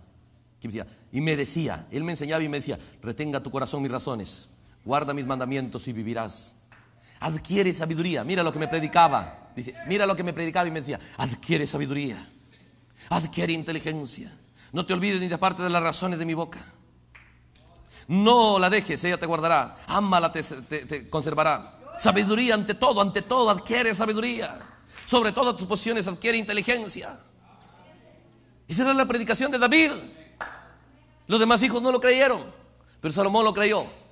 Entonces Dios vino y le dijo, Salomón, pídeme, ¿qué quieres? Él se acordó, se acordó de la predicación. ¿Entiende? ¿Qué quiere Salomón? Sabiduría, Señor, sabiduría. La predicación le dio a él un hambre, un sed, un deseo un entendimiento. Los 144 mil son el resultado de la predicación de Moisés y Elías. Entonces puedes saber quién le predicó a Moisés, quién le predicó a Elías. A mí no me venga con una rutina de iglesia. Les liberó de esa contaminación de mujeres. Ustedes no son cristianos de iglesia. Ustedes han, han sido llamados para ser sellados por Dios. Pero para ser sellados por Dios tienen que ser examinados, probados, sacudidos. Cada cosa tiene que estar bien en su lugar, firme, porque van a ser sellados hasta su destino.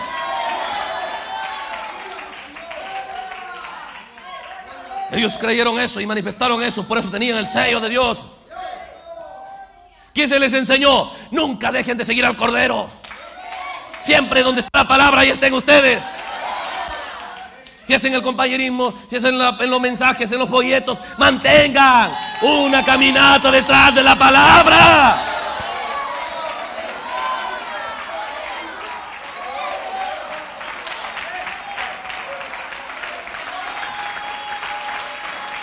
Aleluya. ¿Qué es? Mira quienes no estarán en Armagedón. Mira para quienes no es el juicio de Armagedón. 144 mil. Pero no pueden ser libres de Armagedón. Tiene que venir un ministerio del cielo. Predestinado por Dios. Guardado, reservado por Dios. Dios reservó a Moisés. Dios reservó a Elías cuando lo llevó. Porque Dios lo guardó. Tu carácter me gusta. Tú, a ti te necesito para el tiempo del fin. Porque tú no te comprometes. No le tienes miedo a la gente. No toleras a Jezabel y sus denominaciones. Ese es el carácter que yo quiero para el tiempo del fin. Ahí está Moisés, ¿entiende? Un poderoso profeta para libertar al pueblo, para no consentir lo errado, para traer a escena la ley de Dios. Te necesito para el tiempo del fin. Dios está mostrando qué clase de carácter quiere en el tiempo del fin. ¿Qué clase de predicadores? ¿Qué clase de músicos? ¿Qué clase de cantantes? ¿Qué clase de jóvenes, de jovencitas? Quítate del concepto de la mente que no importa regular más o menos, Dios te va a tolerar. No, Señor.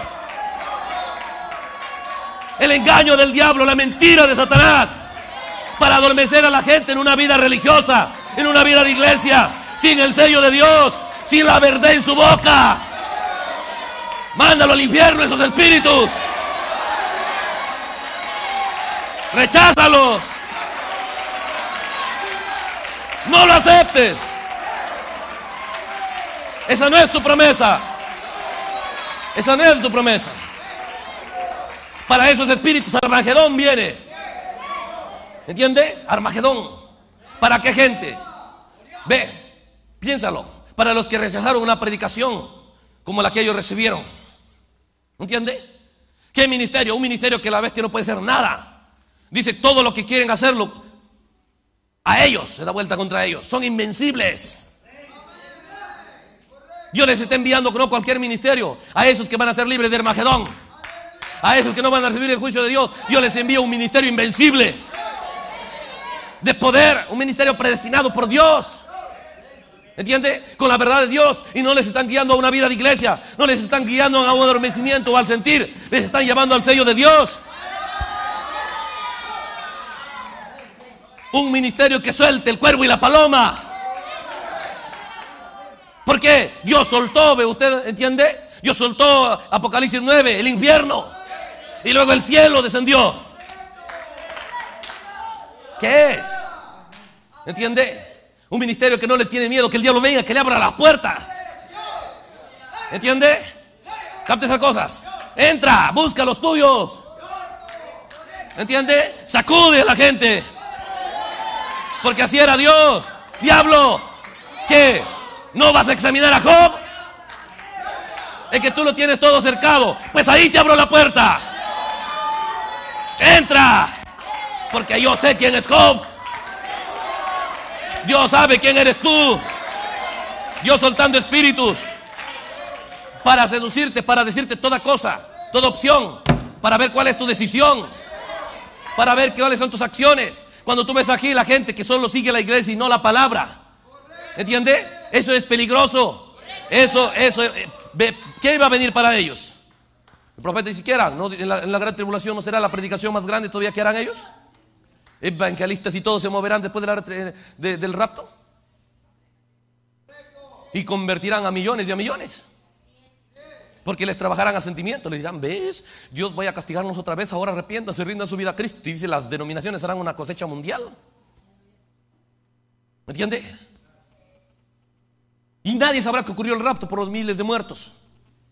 Dirán, ¿qué? 500, 600 o 1000 que se han ido. ¿Qué es? Nada. Nadie se dará cuenta. ¿Entiende? Será tan paradójico, hermano, ve. ¿Entiende? No podrán creerlo. Ve, si lo ven a la jovencita, lo van a ver igual, jovencita, van a decir que nada. Y ella va a decir, tengo un cuerpo transformado. Ah, se van a reír. ¿Entiende? De pronto al hermano ya que es adulto, ¿entiende? De pronto lo ven joven. Y va a decir, yo soy fulano de tal. Oye, ¿dónde has estado? ¿Qué eres familia de él? ¿No te pareces a él? ¿No? ¿Pero tú crees que le van a creer que ha rejuvenecido? Nadie le va a creer. Eso no existe, ese tipo de fe no hay. ¿Entiende? Esas son las cosas que sucederán. Ve. Entonces, nosotros tenemos que mirar. Mira Armagedón, la escena que va a tomar lugar. ¿Quiénes irán a Armagedón? No es que Dios no les dé una opción. Igual hoy. No es que Dios nos está dando opción. ¿Entiende? Por eso leímos Apocalipsis 16. Dice, busca reunirlos en, lugar, en ese lugar que se llama Armagedón. Pero ¿qué dice en la antesala? Dice, bienaventurado el que vela y guarda sus ropas. Porque yo vengo pronto. Porque el diablo buscará contaminar tu vestimenta, contaminar tu ropa. ¿Te, entiende? Este es el día donde no solo tú luches por estar en la iglesia. Esa es una unción. Una unción de solo permanecer en la iglesia y con la esperanza que algún día yo cambiaré. Es una unción del infierno. El otro es una decisión. Voy a sacar fuera de mi tierra. Voy a, voy a traer un Armagedón. ¿De qué manera? ¿Entiende? ¿De qué manera? ¿Sabe qué, hermanos? A mí me gusta ser flojo. ¿Entiende? Pero según la palabra, uno tiene que ser un esforzado. ¿Entiende? Nunca. Entonces, entonces empiezas a hablarlo, ¿ve? ¿Cómo es que Pablo, cómo es que todos fueron esforzados? ¿Entiende? No fueron. Pablo mismo enseñó, ¿ve? No flojearás. Y el proverbista dice que si flojea en el día de trabajo, su fuerza se reduce. ¿Entiende? Y yo he sido así, sí, pero si ustedes de ahora en adelante me ven así, ¿entiende? Entonces sabrán que soy un mentiroso, un hipócrita, que no, no estoy dispuesto a cambiar mi vida. ¿Qué es? Él está soltando un ataque directo a los espíritus que sabe que lo dominan. Porque ese no eres tú. Esos son habitantes que no estarán en el milenio, pero que están en tu tierra. ¿Sabes qué, hermano? Mira la Biblia, no estarás siendo chismoso. ¿Sabes qué? Yo he sido el número uno. Tal vez tú no me has conocido, pero dentro de mí no me podía detener la lengua. ¿Entiende? Pero hoy estoy dispuesto, dispuesto a vivir esta escritura. Y si tú no me ves vivirlo, sé el primero en coger las piedras. ¿Entiende? No me consientas. Porque en ese día, dijo Dios, yo permitiré espíritus que vengan, falsos profetas, para ver cuál será tu actitud, para que te digan, hoy sirvamos a dioses ajenos. ¿Quién te dirá? Dijo, tu hermano vendrá a decirte eso. ¿Entiendes? Mira, yo hermano, ¿sabes cómo era? Tenía mi estado de ánimo siempre era melancólico, deprimido. Me gustaba la soledad, no me gustaba hablar con nadie. Pero eso no dice la palabra. Y es que yo he decidido hoy. He decidido hoy vencer. Y si yo no lo hago, ayúdame. ¿Entiende? ¿Acaso no hacía el profeta eso? ¿El profeta acaso no decía? Hermano, dice, pruébame una sola escritura que estoy mal. Si usted me prueba por la Biblia, pondré, dijo, en mi, en mi, pecho y en mi espalda. Soy un falso profeta y caminaré por toda la ciudad con ese letrero. Si usted me prueba que yo estoy haciendo algo errado en la palabra. ¿Por qué? Él está atacando a esos espíritus. Las está exponiendo. No lo está encubriendo, no lo está escondiendo. ¿A cuántos escondes dentro de tu casa? Dentro de tu casa. ¿Entiende? Tú dices, yo no hago eso, pero ahí tienes a, los que lo esconden. ¿Entiende? Pero ya la gente dice, ¿sabes qué? Ahora se acabó. ¡Fuera! ¿Entiende? Ahorita los vecinos dicen, ¿qué? Sí, sí, esos han estado aquí en mi casa escondidos todo este tiempo. Pero ya me cansé. Estoy harto. Quiero un cambio. Porque quiero que Él me visite. Quiero que Él venga a mi casa. Y mientras estos estén aquí, Él no vendrá. Por lo tanto, va a sacarlo fuera de mi vida. Aleluya. ¿Qué es? El que opera en luz viene a la luz. Porque Él quiere mostrar que no tiene nada que esconder. Porque a la hora de Armagedón, ¿quién se va a esconder de esas bombas? ¿Entiendes? Y ahora tú escoges aquí o destruyes, tú decides hacer en Armagedón en tu vida o pasas al Armagedón de Dios. Entonces Dios mandó la palabra. La palabra que está aquí escrita, esa es la palabra que va a ejecutar Armagedón. Pero esta palabra que está escrita tú la puedes tomar, ¿entiende? Y puedes bombardear las cosas cerradas. ¿Por qué? ¿Sabes por qué? Porque exactamente tú te conoces.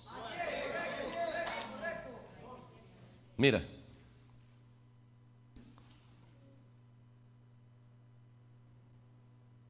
Corintios, creo era.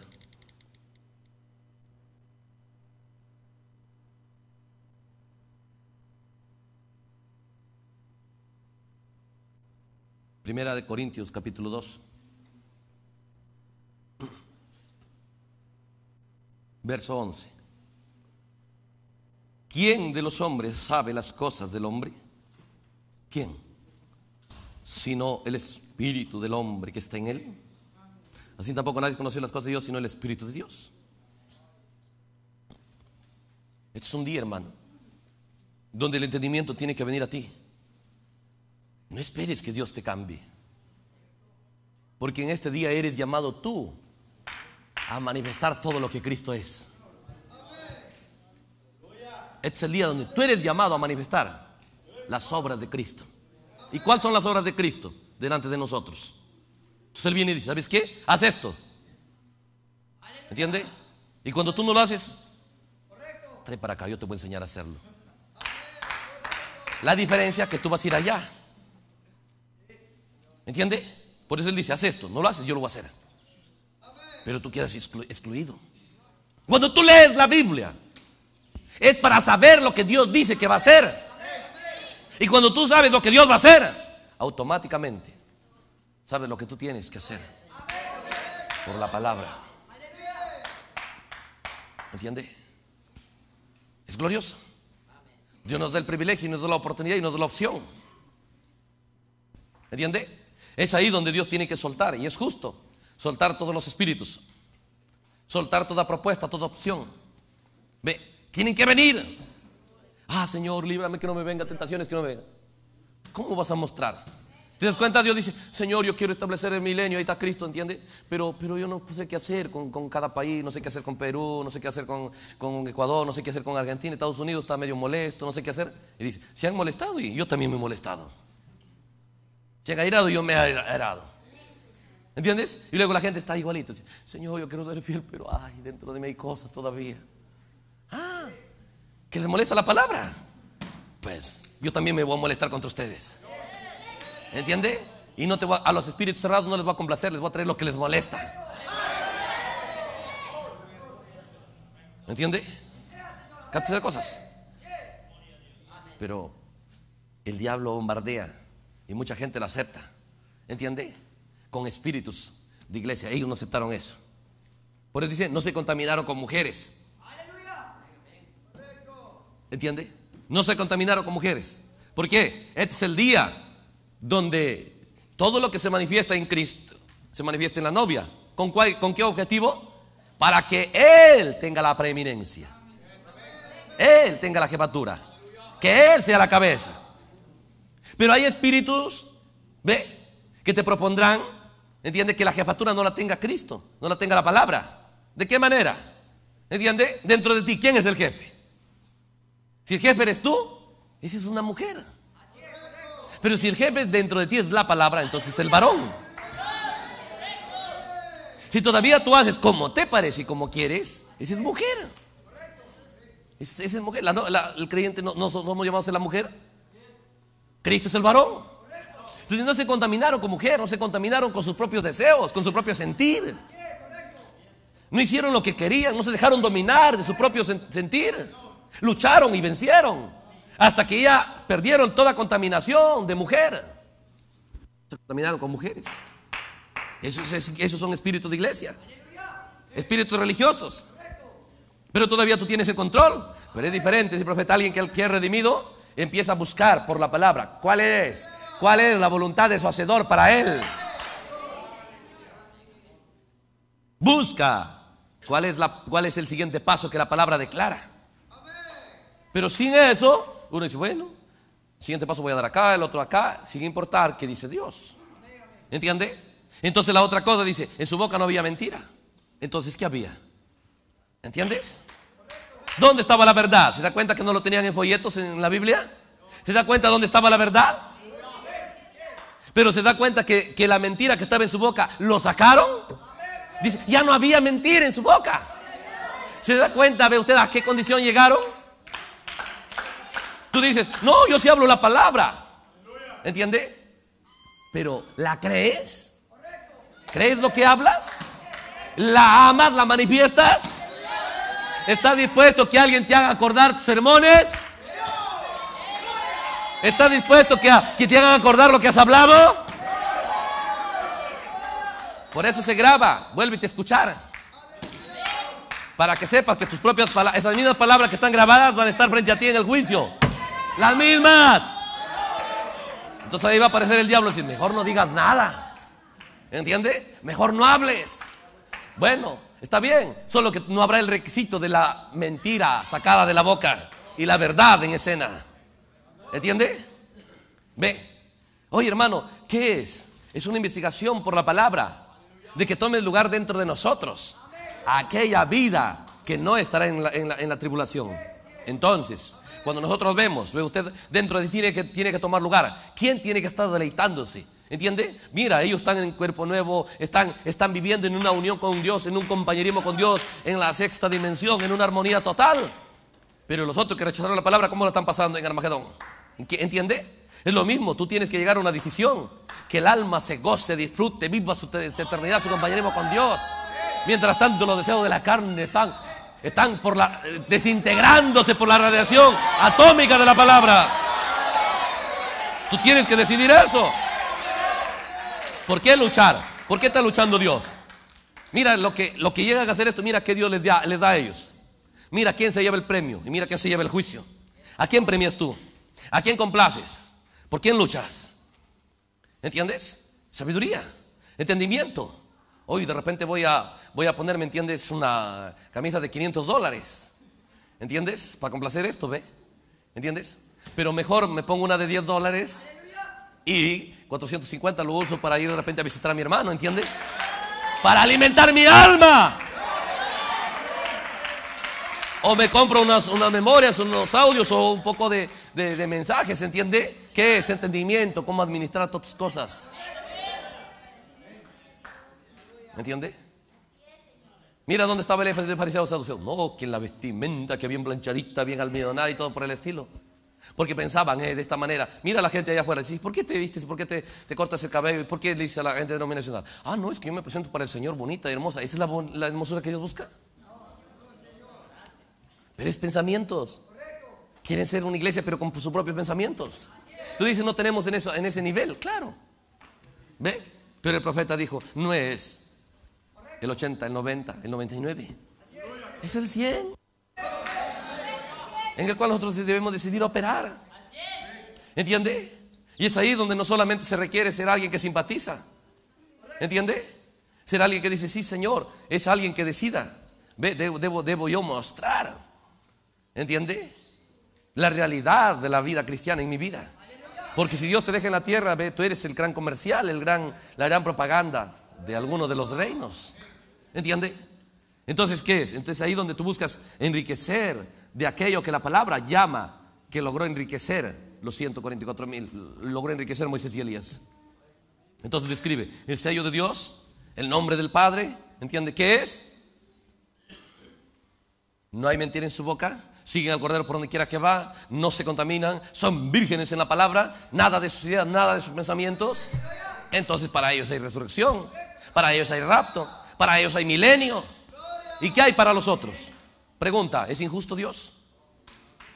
¿Qué harás tú con esos habitantes? Dios, Dios te ha dado a ti la misma oportunidad, porque los habitantes que hay en el mundo, los dos tipos de líneas, lo mismo Dios lo ha colocado dentro de ti. Dentro de ti hay uno que le gusta regular cristianismo, pero muy adentro hay uno que le gusta el 100 o nada. ¿A cuál de ellos complacerás? Si tú has llamado a ser como Dios, Dios va a administrar este mundo y la, va a llevar de esta manera. ¿Ve? Entonces, ¿de qué manera la vas a llevar tú a tu propio mundo? ¿Me entiende? Cosas. Entonces, cuando empiezas a ser habitante, hermano, mira, mira el mundo del milenio. Cuando Armagedón ya tomó lugar, mira el mundo del milenio. El diablo se pasea y no puede hacer nada. Por donde vayas por el milenio, el diablo da lástima. ¿Entiende? Cuando una iglesia logra aplicar ese tipo de juicio a las cosas cerradas por su propia voluntad, porque el predicador la puede soltar. Y si tú no la aceptas, la predicación de todos modos te envuelve en ese juicio, pero para, para allá. Pero cuando tú la tomas y la aplicas hoy, hoy es tu medicina. Hoy es medicina, más adelante es tu sentencia. ¿Entiende? Hoy es medicina. Cállate las cosas. Por eso tiene que venir el entendimiento para saber, oh, que Dios lo haga todo. No. Dios muestra en la palabra lo que Él hará, porque este es el día donde la novia tiene que ser lo que Cristo es. Entonces ese es el día donde tú empiezas a vigilar. ¿Entiende? Donde tú empiezas a mirar. De repente ves, este hermanito está desanimado, esta hermanita está desanimada. Tú vas, hermano. ¿Entiendes? Ve, y va a decir, pero tú qué me dices, cierto. Por eso mismo vengo. Vengo a decirte esto y esto. Y luego te pido a ti que anotes la fecha de que te hablé y luego me vigiles a mí. Porque esta es la receta. Y yo, no te vengo, yo te vengo a decir que esto debemos hacer. Te conviene tomarlo.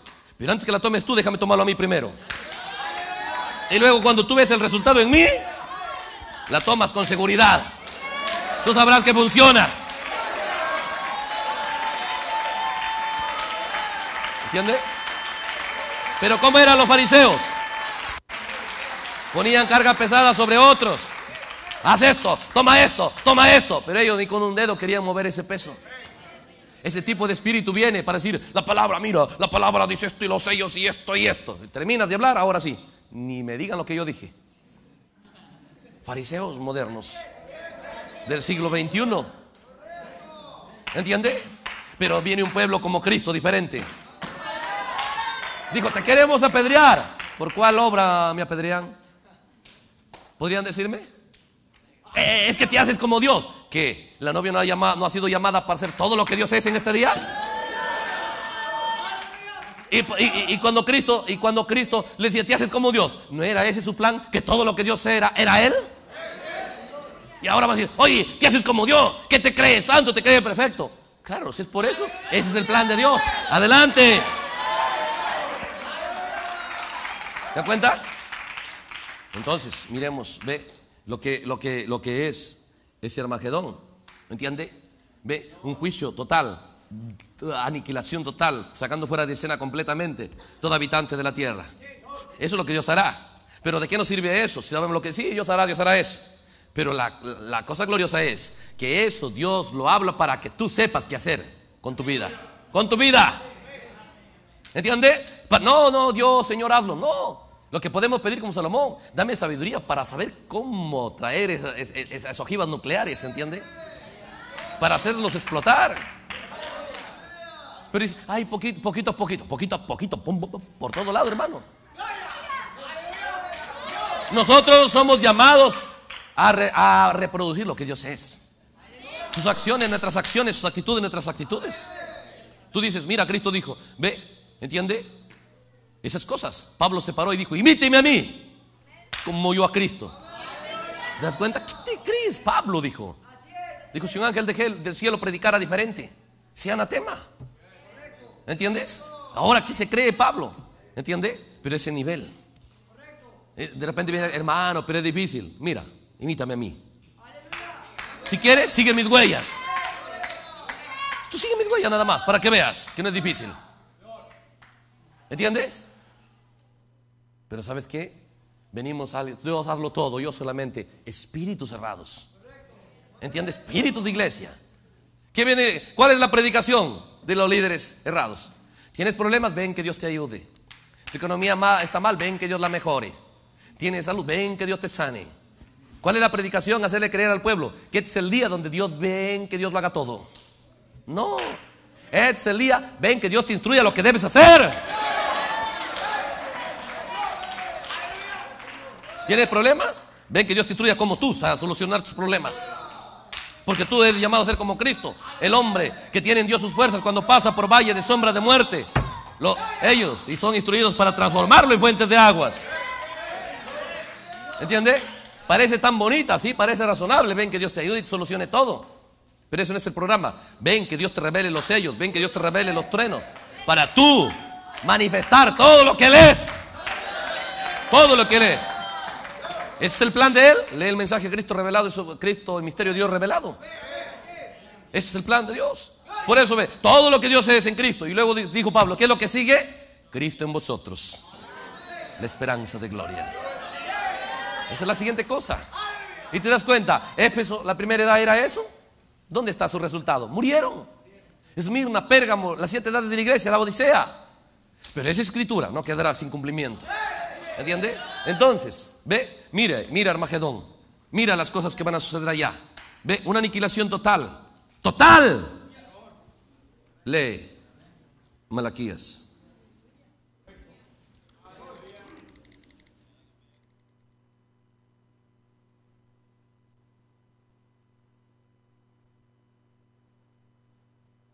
Malaquías 4. ¿Por qué aquí viene el día ardiente como un horno? Todos los soberbios.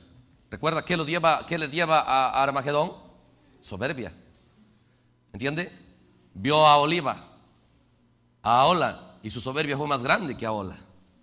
¿Entiende? Eso es lo que vimos ayer. Ezequiel 23. Entonces dice, ve, ¿por qué aquí viene día ardiente como un horno? Todos los soberbios y todos los que hacen, hacen, no solo piensan, pero lo hacen, hacen maldad, serán estopa, paja. Aquel día que vendrá los abrazará, aunque ellos no quieran, aunque ellos no quieran abrazarlo, ese día les va a abrazar a ellos. No quieren, ¿entiendes? Ellos no quieren, no hay problema, ese día los va a abrazar a ellos. ¿Te das cuenta? Pero hoy nosotros podemos abrazar ese día. Es diferente. Sobre quien cayere lo desmenuzará. Pero el que cayere sobre esa roca será quebrantado. ¿Entiende? Entonces dice, que el venidero los abrazará a todos, mostrando que no será el deseo de la gente, pero Dios, pero ese día vendrá y te envolverá en eso. Ha dicho que va de los ejércitos. Y dice, y no les dejará ni raíz ni rama. ¿Quieres ver eso llevado a cabo en tu vida? Porque tú te conoces, sabes. Sabes tu carácter, sabes tus, tus, tus costumbres, sabes todo eso. ¿Estás dispuesto a pelear contra eso? No que otro venga, tú pelear contra eso. Es el entendimiento que debemos recibir. No repetir de tanta, tanta, tanta repetición vana, ¿entiende? Ah, hermano, debemos morir, debemos nacer de nuevo, debemos esto, debemos lo otro y tanta predicación. ¿Entiende? Pero decisiones, hechos. ¿Entiende? Entonces dice, pero a vosotros los que teméis mi nombre. ¿Se da cuenta dos clases de gente? Las dos clases de gente. ¿Ve? Los que temen el nombre, nacerá el sol de justicia. La palabra, el mensaje. ¿Ve? Dice, y en sus alas traerá salvación, las alas del águila.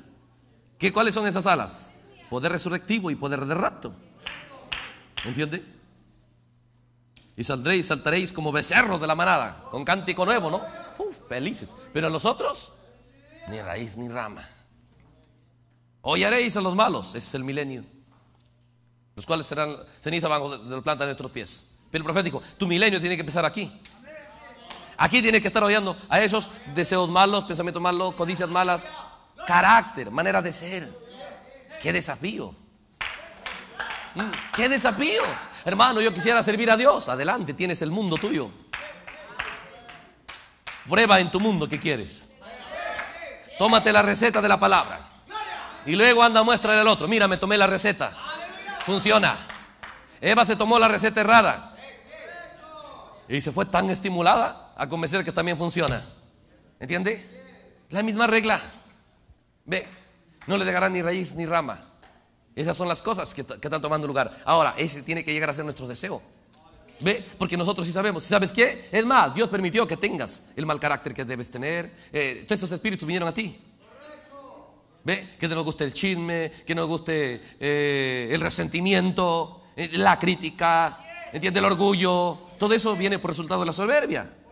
¿Pero qué es? ¿Dejarás que esos espíritus se paseen delante de ti? Dios permite eso en ti para ver qué haces. Te quedarás como todos, medio triste, sufriendo, como, como veían a este, a este príncipe con, con Cosby. ¿Entiende? O serás como fines. ¿Entiende? Ahora, ese, ese, es tu mundo. Y tú eres el interesado eh, eh, y tienes la opción para ir al milenio. Es tu opción.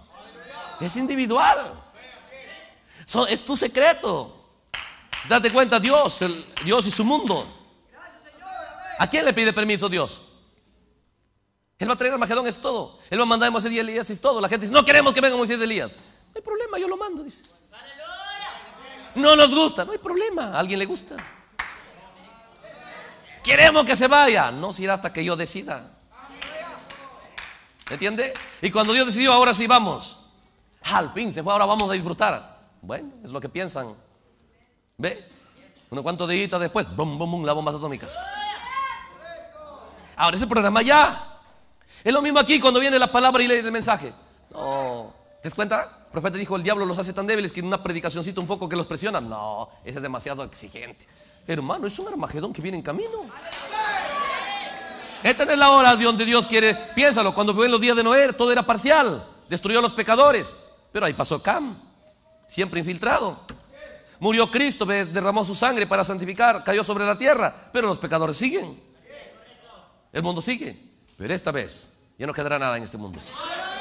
Mostrando la clase de vida cristiana que Dios quiere en este día. ¿Entiende? Mostrando la clase de vida cristiana que Dios quiere en este día. Entonces, pregunta, para llevar a cabo Armagedón, ¿se necesita cualquier tipo de poder?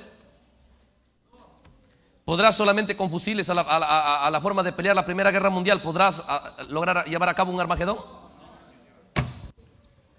¿Te das cuenta que se necesitan escenas científicos? Para traer a escena poderes de destrucción masiva. Por eso, hermano, con una predicacióncita pentecostal, ¿tú crees que traerás una destrucción de los poderes cerrados de tu vida? Que saber que se necesita. Se necesita científicos escriturales para examinar esas químicas de la palabra, para traer a escena un superpoder, para que te traiga un panorama claro, nítido, para saber qué hacer, para qué has sido llamado y que tú tienes una labor, no algún día. Ahora, y si ahora no empiezas, de repente más adelante, más tarde quieres empezar y ya no te alcanza el tiempo. ¿Por qué? Porque el diablo trabajó en ti cuántos años? Desde niño. Desde niño, hermano. ¿Ve? Ahí está el niño, ¿entiende? Desde pequeñito, mamá le dice, come, termina tu comida. Ah, toma una cucharada y ya no quiero. Tome, come, no, no quiere. Ya la mamá cede, está bien. ¿Entiende? Y el niño ya empieza a aprender lecciones. Empieza a decir, o sea, que si yo me pongo rebelde y no acepto, no me pueden obligar. ¿Entiende? Y más grandecito llega, quiero esto. No, no te vamos a comprar. Y por ahí se enoja, se revuelca por ahí y llora. Ya, ya está bien, ya está bien, cállate, ya te vamos a comprar. Entonces el niño empieza a ser educado. El diablo lo educa ese niño con la colaboración de mamá y de papá. Para enseñarle, si tú te pones rebelde y caprichoso, se va a hacer lo que tú dices. ¿Entiende? Luego va a la escuela, el profesor le dice, hazme ese trabajo. Él dice, hizo una partecita, otra parte no. Ya no importa, te vas a sacar aunque sea 11, pero en la próxima hazlo, ¿eh? ¿Entiende? Ya te voy a ayudar con medio punto, pero, pero hazlo bien, ¿ah? Y toda la vida. Entonces colaboraron todos para hacer de él alguien que él cree que puede ser obediente hasta cierta parte nada más. Cuando viene a la iglesia con ese tipo de instrucción de años, lo dice en la palabra, ya dice, pero aplica la misma regla que yo la aplico toda su vida. Obedecer la palabra solo hasta cierto punto. Porque mamá me toleró, papá me toleró, el profesor en la escuela, el profesor en el colegio, el profesor en la universidad me permitieron.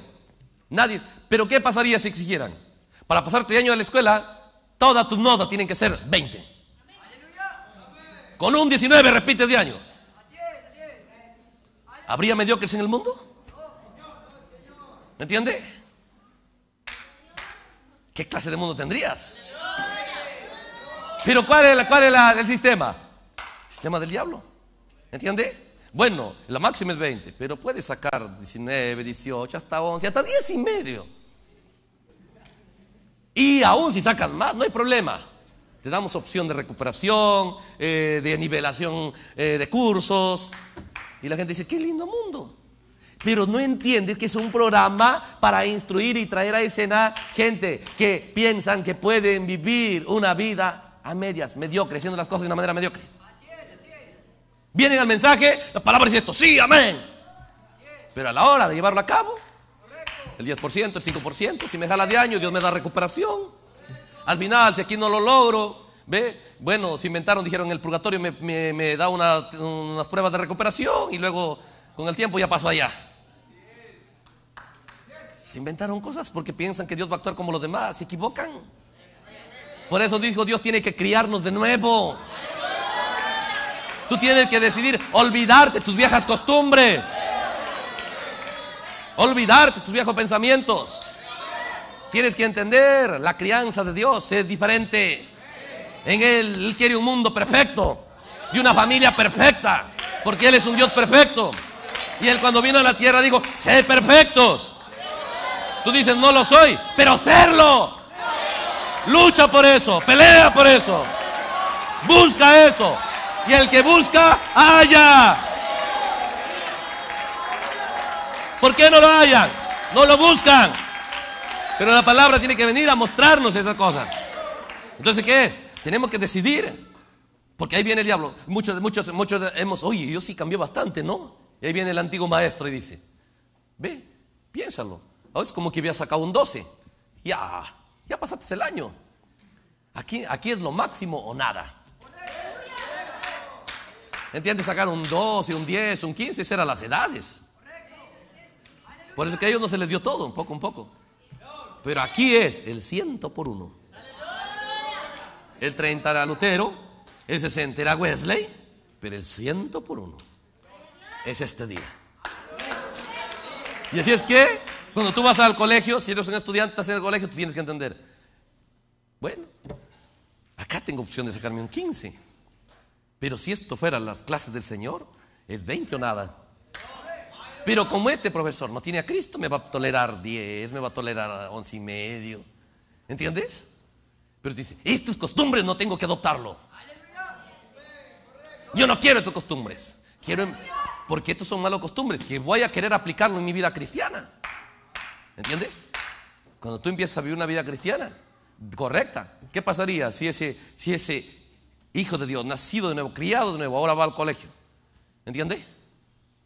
De pronto, si queremos premiarte porque sacaste un 17, regalen su premio a otro. Van a premiar un perdedor.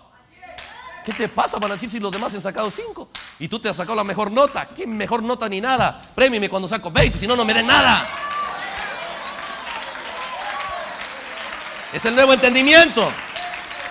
¿Entiendes? ¿Pero qué es? Es el concepto que la gente va a la iglesia. Señor, pero ya está bien, no fui perfecto. Pero si yo fui los domingos a la iglesia, hasta los sábados, y a veces hasta los tres, los miércoles. Y también participé en alguna compañerismo. Y además, claro, no fui tan, pero, pero hice muchas cosas. ¿Entiende? Es igual la gente dice, pero, pero profesor, yo respondí siquiera una pregunta. ¿Ve? Ya, pues ayúdeme, aumenteme un punto. ¿Entiende? Y si el profesor no lo aumenta, se va a hablar con papá y mamá dice, no te preocupes, hijo, vamos, vamos a llevarle un pequeño dinero al profesor. Todo eso es el plan de Satanás. Para llenarnos de malas costumbres, de mala forma de ser. Entonces cuando vienes acá y te hablan de perfección, rápido el maestro antiguo te dice, sí o no, que eso no se puede. Entonces, claro, desde niño no podía. Y ahora me quieren decir que puedo. ¿Entiendes? Pero eso es lo que Dios vino a Abraham. Abraham lo sacó y empezó a caminar como quería. Y todavía esperaba que Dios le dé hijo de esa manera. Dijo, no te voy a dar nada. Y Abraham, Señor, 10 años, que no, ya Dios tiene que convencerse. Y Dios no le dio nada. Entonces Abraham empezó a entrar en preocupación. ¿Entiendes? 24 años, ¿qué pasa? No, no, no, algo está mal, Señor, dime qué está mal. Ya, muy bien, dijo. El problema es que tú no quieres andar delante de mí de una manera perfecta. Génesis 17. Ahora, si tú andas delante de mí y eres perfecto, ¿estás dispuesto a eso? Amén, Señor. Ah, ya no hay problema. la circuncisión, ¿entiende? El nombre nuevo y el próximo año tendrás el hijo. Todo dependía del entendimiento de la manera en la que Dios opera para cumplir sus promesas. ¿Entiende? ¿Qué es? Mira a la gente, mira a los profesores, ¿entiende? Ya llegan su título, listo, se acabó. No importa cómo lo sacaron, si aprendieron o no. Ahora son profesionales, ya quieren enseñar y ser maestros. Viene el gobierno y dice, les vamos a evaluar a los profesores. Paro, ¿cómo es posible? Ah, no quieren ser evaluados. Pero, pero si fueran realmente profesores, dirían, claro, adelante. Examínenos. Pruébenos. Denos una oportunidad de probar que merecemos nuestro sueldo. Pero en vez de eso, ¿qué hacen? Paro, no queremos evaluación. Tú dices, mira cómo son allá. Igualitos son aquí. Señor, no me mandes pruebas, no me mandes pruebas, Señor. Señor, líbrame del diablo, Señor. Pero el verdadero creyente, Señor, suéltalo. Para ver si soy verdadero creyente. Para ver si realmente hay fe mí.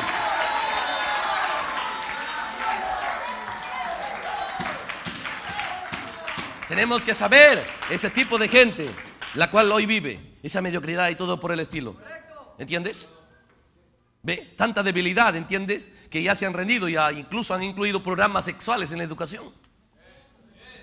Porque se han dejado derrotar de todo eso. ¿Qué va a hacer Dios con ellos? ¿Entiendes? Igual quiere mostrar el diablo que igual se va a mover la vida aquí en el cristianismo. ¿Entiendes? Deja que la palabra siga carne. ¿Entiendes? a decir, no, no, no, no. Aquí no es así. Porque aquí vas a mostrar, aquí, ve, ¿entiende? Los 144 mil están mostrando aquí. Lo que serán allá. Porque en el otro mundo, ¿a quién sigues? ¿Quién es el líder del otro mundo de vida eterna? El Cordero. La palabra. Cristo. Pero ¿cómo allá irá si aquí no te gusta? ¿Se hablará mentiras en el mundo de la verdad? No hay. Entonces aquí tenemos que lograr mostrar que nos gusta la verdad. Aquí, aquí, aquí, porque dijo, una pizca de las cosas del mundo que te gusten, el amor de Dios no está en ti. ¿Entiendes? Es ahí donde nos conviene mirar en la palabra todas las cosas que a Dios no le agrada. Para buscar hacer su voluntad. Para eso reunirnos. Para eso motivarnos. Tú empiezas a decir, mire, este hermano no avanza. Claro, porque yo no estoy avanzando lo suficiente para ayudarlo. Pero Señor, yo quiero avanzar para no solamente ser egoísta y pensar en mí, porque ese es ejército de langostas. Cada uno por su propio camino, no les importa a los demás. Pero el verdadero cristiano va a avanzar tanto para poder ayudar a mi hermano. ¿Entiende? Pero ¿de qué vale ser gente que solamente quiere aprender y hablar? Y hablar. Y no está dispuesto a exponerse a que lo que habla lo juzgue. Pero eso, hermano, debemos. Usted debe vigilar. Usted recuerde, tus hermanos tienen, tiene la opción, vuelva a escuchar. Y si usted ve diferente, o de repente más adelante ve que el objetivo de la predicación son otras cosas, se fueron hacia el mundo, usted tiene que venir y reclamar. ¿Entiende? ¿Sabe qué, hermano? Permítame ponerle este cartón de falso profeta porque, porque usted empezó a decir que el objetivo que Dios busca en una iglesia ahora viene a decir que no importa, hermanos, ¿entiende? ¿Ve? De todos modos, Dios nos ama, al fin y al cabo Dios nos ama a todos. Dios es amor. Y es que, sea que tengamos o no la verdad en la, palabra, en la boca, sea que sigamos el cordero, sea, no importa. ¿Entiende? Así nos dice la palabra. Entonces, es el tipo de fe, es el tipo de fe que tome, que tome lugar en nuestro corazón el que nos hará actuar. Si es una fe pervertida, el resultado en nosotros como cristianos será eso. Entonces nosotros, el diablo tiene muchas ventajas. Nos instruyó desde niños, con la complicidad de muchos, la sociedad y todo por el estilo. ¿Entiende? Pero Dios tiene la ventaja, el poder de su palabra. La cosa es, decidamos aquí a ser protagonista. Protagonista. Pero viene y dice, es que yo así soy. Claro, así se te formó el carácter a través de la crianza de los padres que te tuviste, a través de la escuela, la forma de ser, incluso a través del, tiempo en que naciste. Porque sí influye el tiempo en que naciste. Entonces dice, ah, no, mi sin, ah, es que yo soy Leo, pues con razón tengo que ser lleno de ira y de cólera, pues. Claro, sí influye. Pero si no cuadra con la palabra, ninguna influencia. Es más poderosa que la influencia de la palabra. ¿Entiende? No, es que yo soy este signo y estos siete. Y la gente de este signo son melancólicos, tristes. Ellos nunca son animados. Pero si eso no es conforme a la palabra, fuera con esas influencias. ¿Entiende? Porque si influye, si tú naces aquí, hablas español, influye. Pero si naces en Estados Unidos, vas a hablar inglés. Si influye el lugar donde naces. ¿Entiende? Las cosas que están a tu alrededor. Pero si llega un momento y dices, no, pues, necesito urgente aprender inglés. ¿Entiendes? Y si tú sabes que es indispensable, pues haces, todo lo que se requiere. ¿Ve? ¿Entiende? En medio año y menos ya estás hablando inglés, si quieres, si realmente lo buscas. ¿Ve? Si fuera eso indispensable. Ahora, ¿te das cuenta que puedes ir más allá de lo que ya eres, de lo que el mundo hizo de ti? Puedes superarte, puedes adquirir más cosas. Es lo mismo, es lo mismo. Por eso venimos a la palabra no solo para decir, ah, somos cristianos y hemos hecho una confesión de fe y listo. No, la palabra va a mostrarnos. Ve, cuál es su plan y luego va a darnos a cada uno la posibilidad de operar en su plan.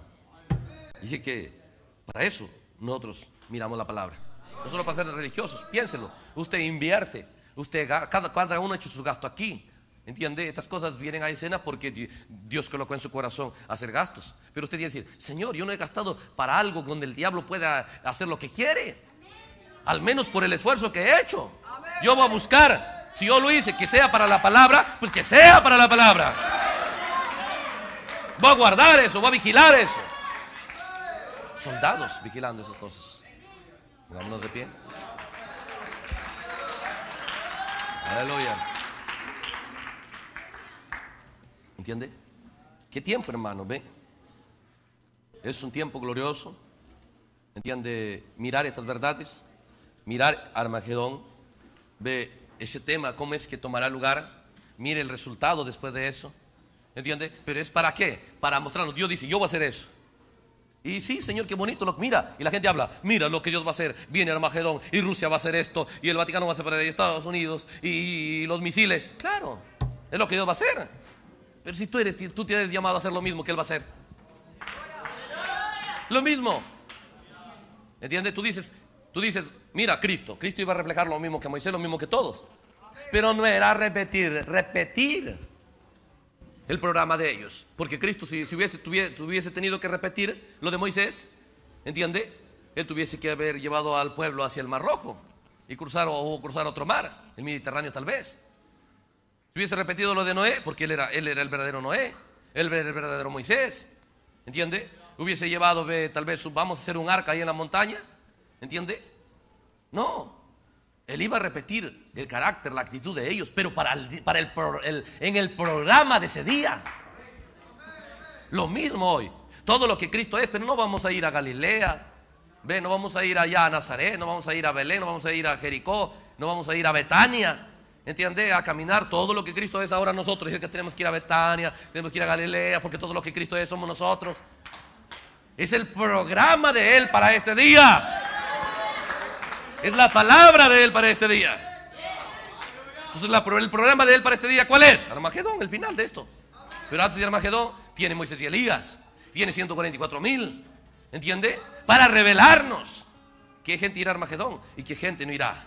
Entonces nosotros miramos dentro de nosotros cómo es que el alma tiene que estar tanto disfrutando, como los 144 mil disfrutando y los demás en Armagedón pagando el resultado de su rebelión, el resultado de su falta de respeto a la palabra de la hora. Lo mismo, la carne tiene que pagar las consecuencias de su desobediencia. Eh, va a sufrir, va a quejarse, va a clamar. ¿Cómo crees que va a estar esa gente que los ojos, las cuencas de los ojos se le caen? El poder radioactivo, van a estar gritando y desesperados. ¿Entiende? Así tiene que estar. La gente grita y desesperada, lo lamento por ti, pero es la hora del alma. Es la hora de seguir en palabra. ¿Entiende?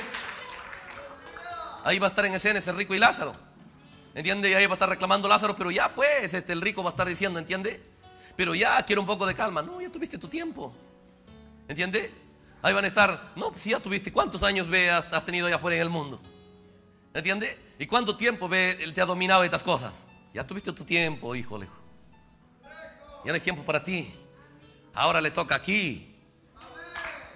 Al que has oprimido, al que lo has deshonrado, al que no lo ayudaste. ¿No era la carne el tormento del alma? ¿No dijo Pablo, es ese miserable hombre viejo que empieza a, impedir que yo haga lo que yo quiero hacer? ¿No ha sido la carne el que ha luchado para impedir que tú seas un cristiano como debe ser? ¿No ha sido la carne el enemigo de tu alma? ¿No ha sido el hombre viejo? Entonces si eres un real Abraham, tú vas a decir, ya tuviste tu tiempo. Ahora paga las consecuencias. Ahora la palabra llega a ser un tormento. Moisés y Elías llega a ser un tormento para ellos. Y tiene que ser así. Y tiene que ser así. Entonces vas a encontrar a gente que está dominada bajo estas cosas. Uy, para ellos es un tormento, ¿entiendes?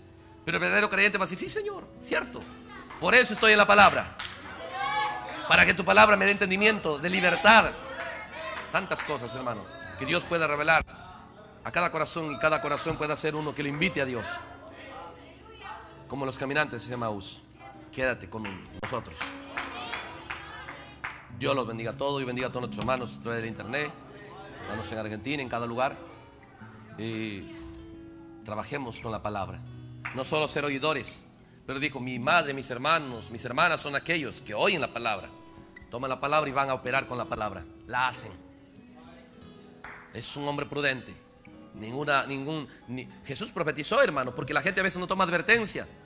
Ve, pero Jesús dijo, el que oye la palabra y la hace es como alguien que edifica su casa sobre una roca. Porque van a venir vientos, tempestades. Pero si tú oyes la palabra, después va a venir el diablo a probar esa palabra que has oído. Y si estás sobre la arena, dijo que va a ser grande la ruina. Entonces tú encuentras la gente derrotada y todo por el estilo, porque no decidieron operar en la palabra. Pero es la hora donde tú llénate del armamento divino, vístete de la armadura real de Dios.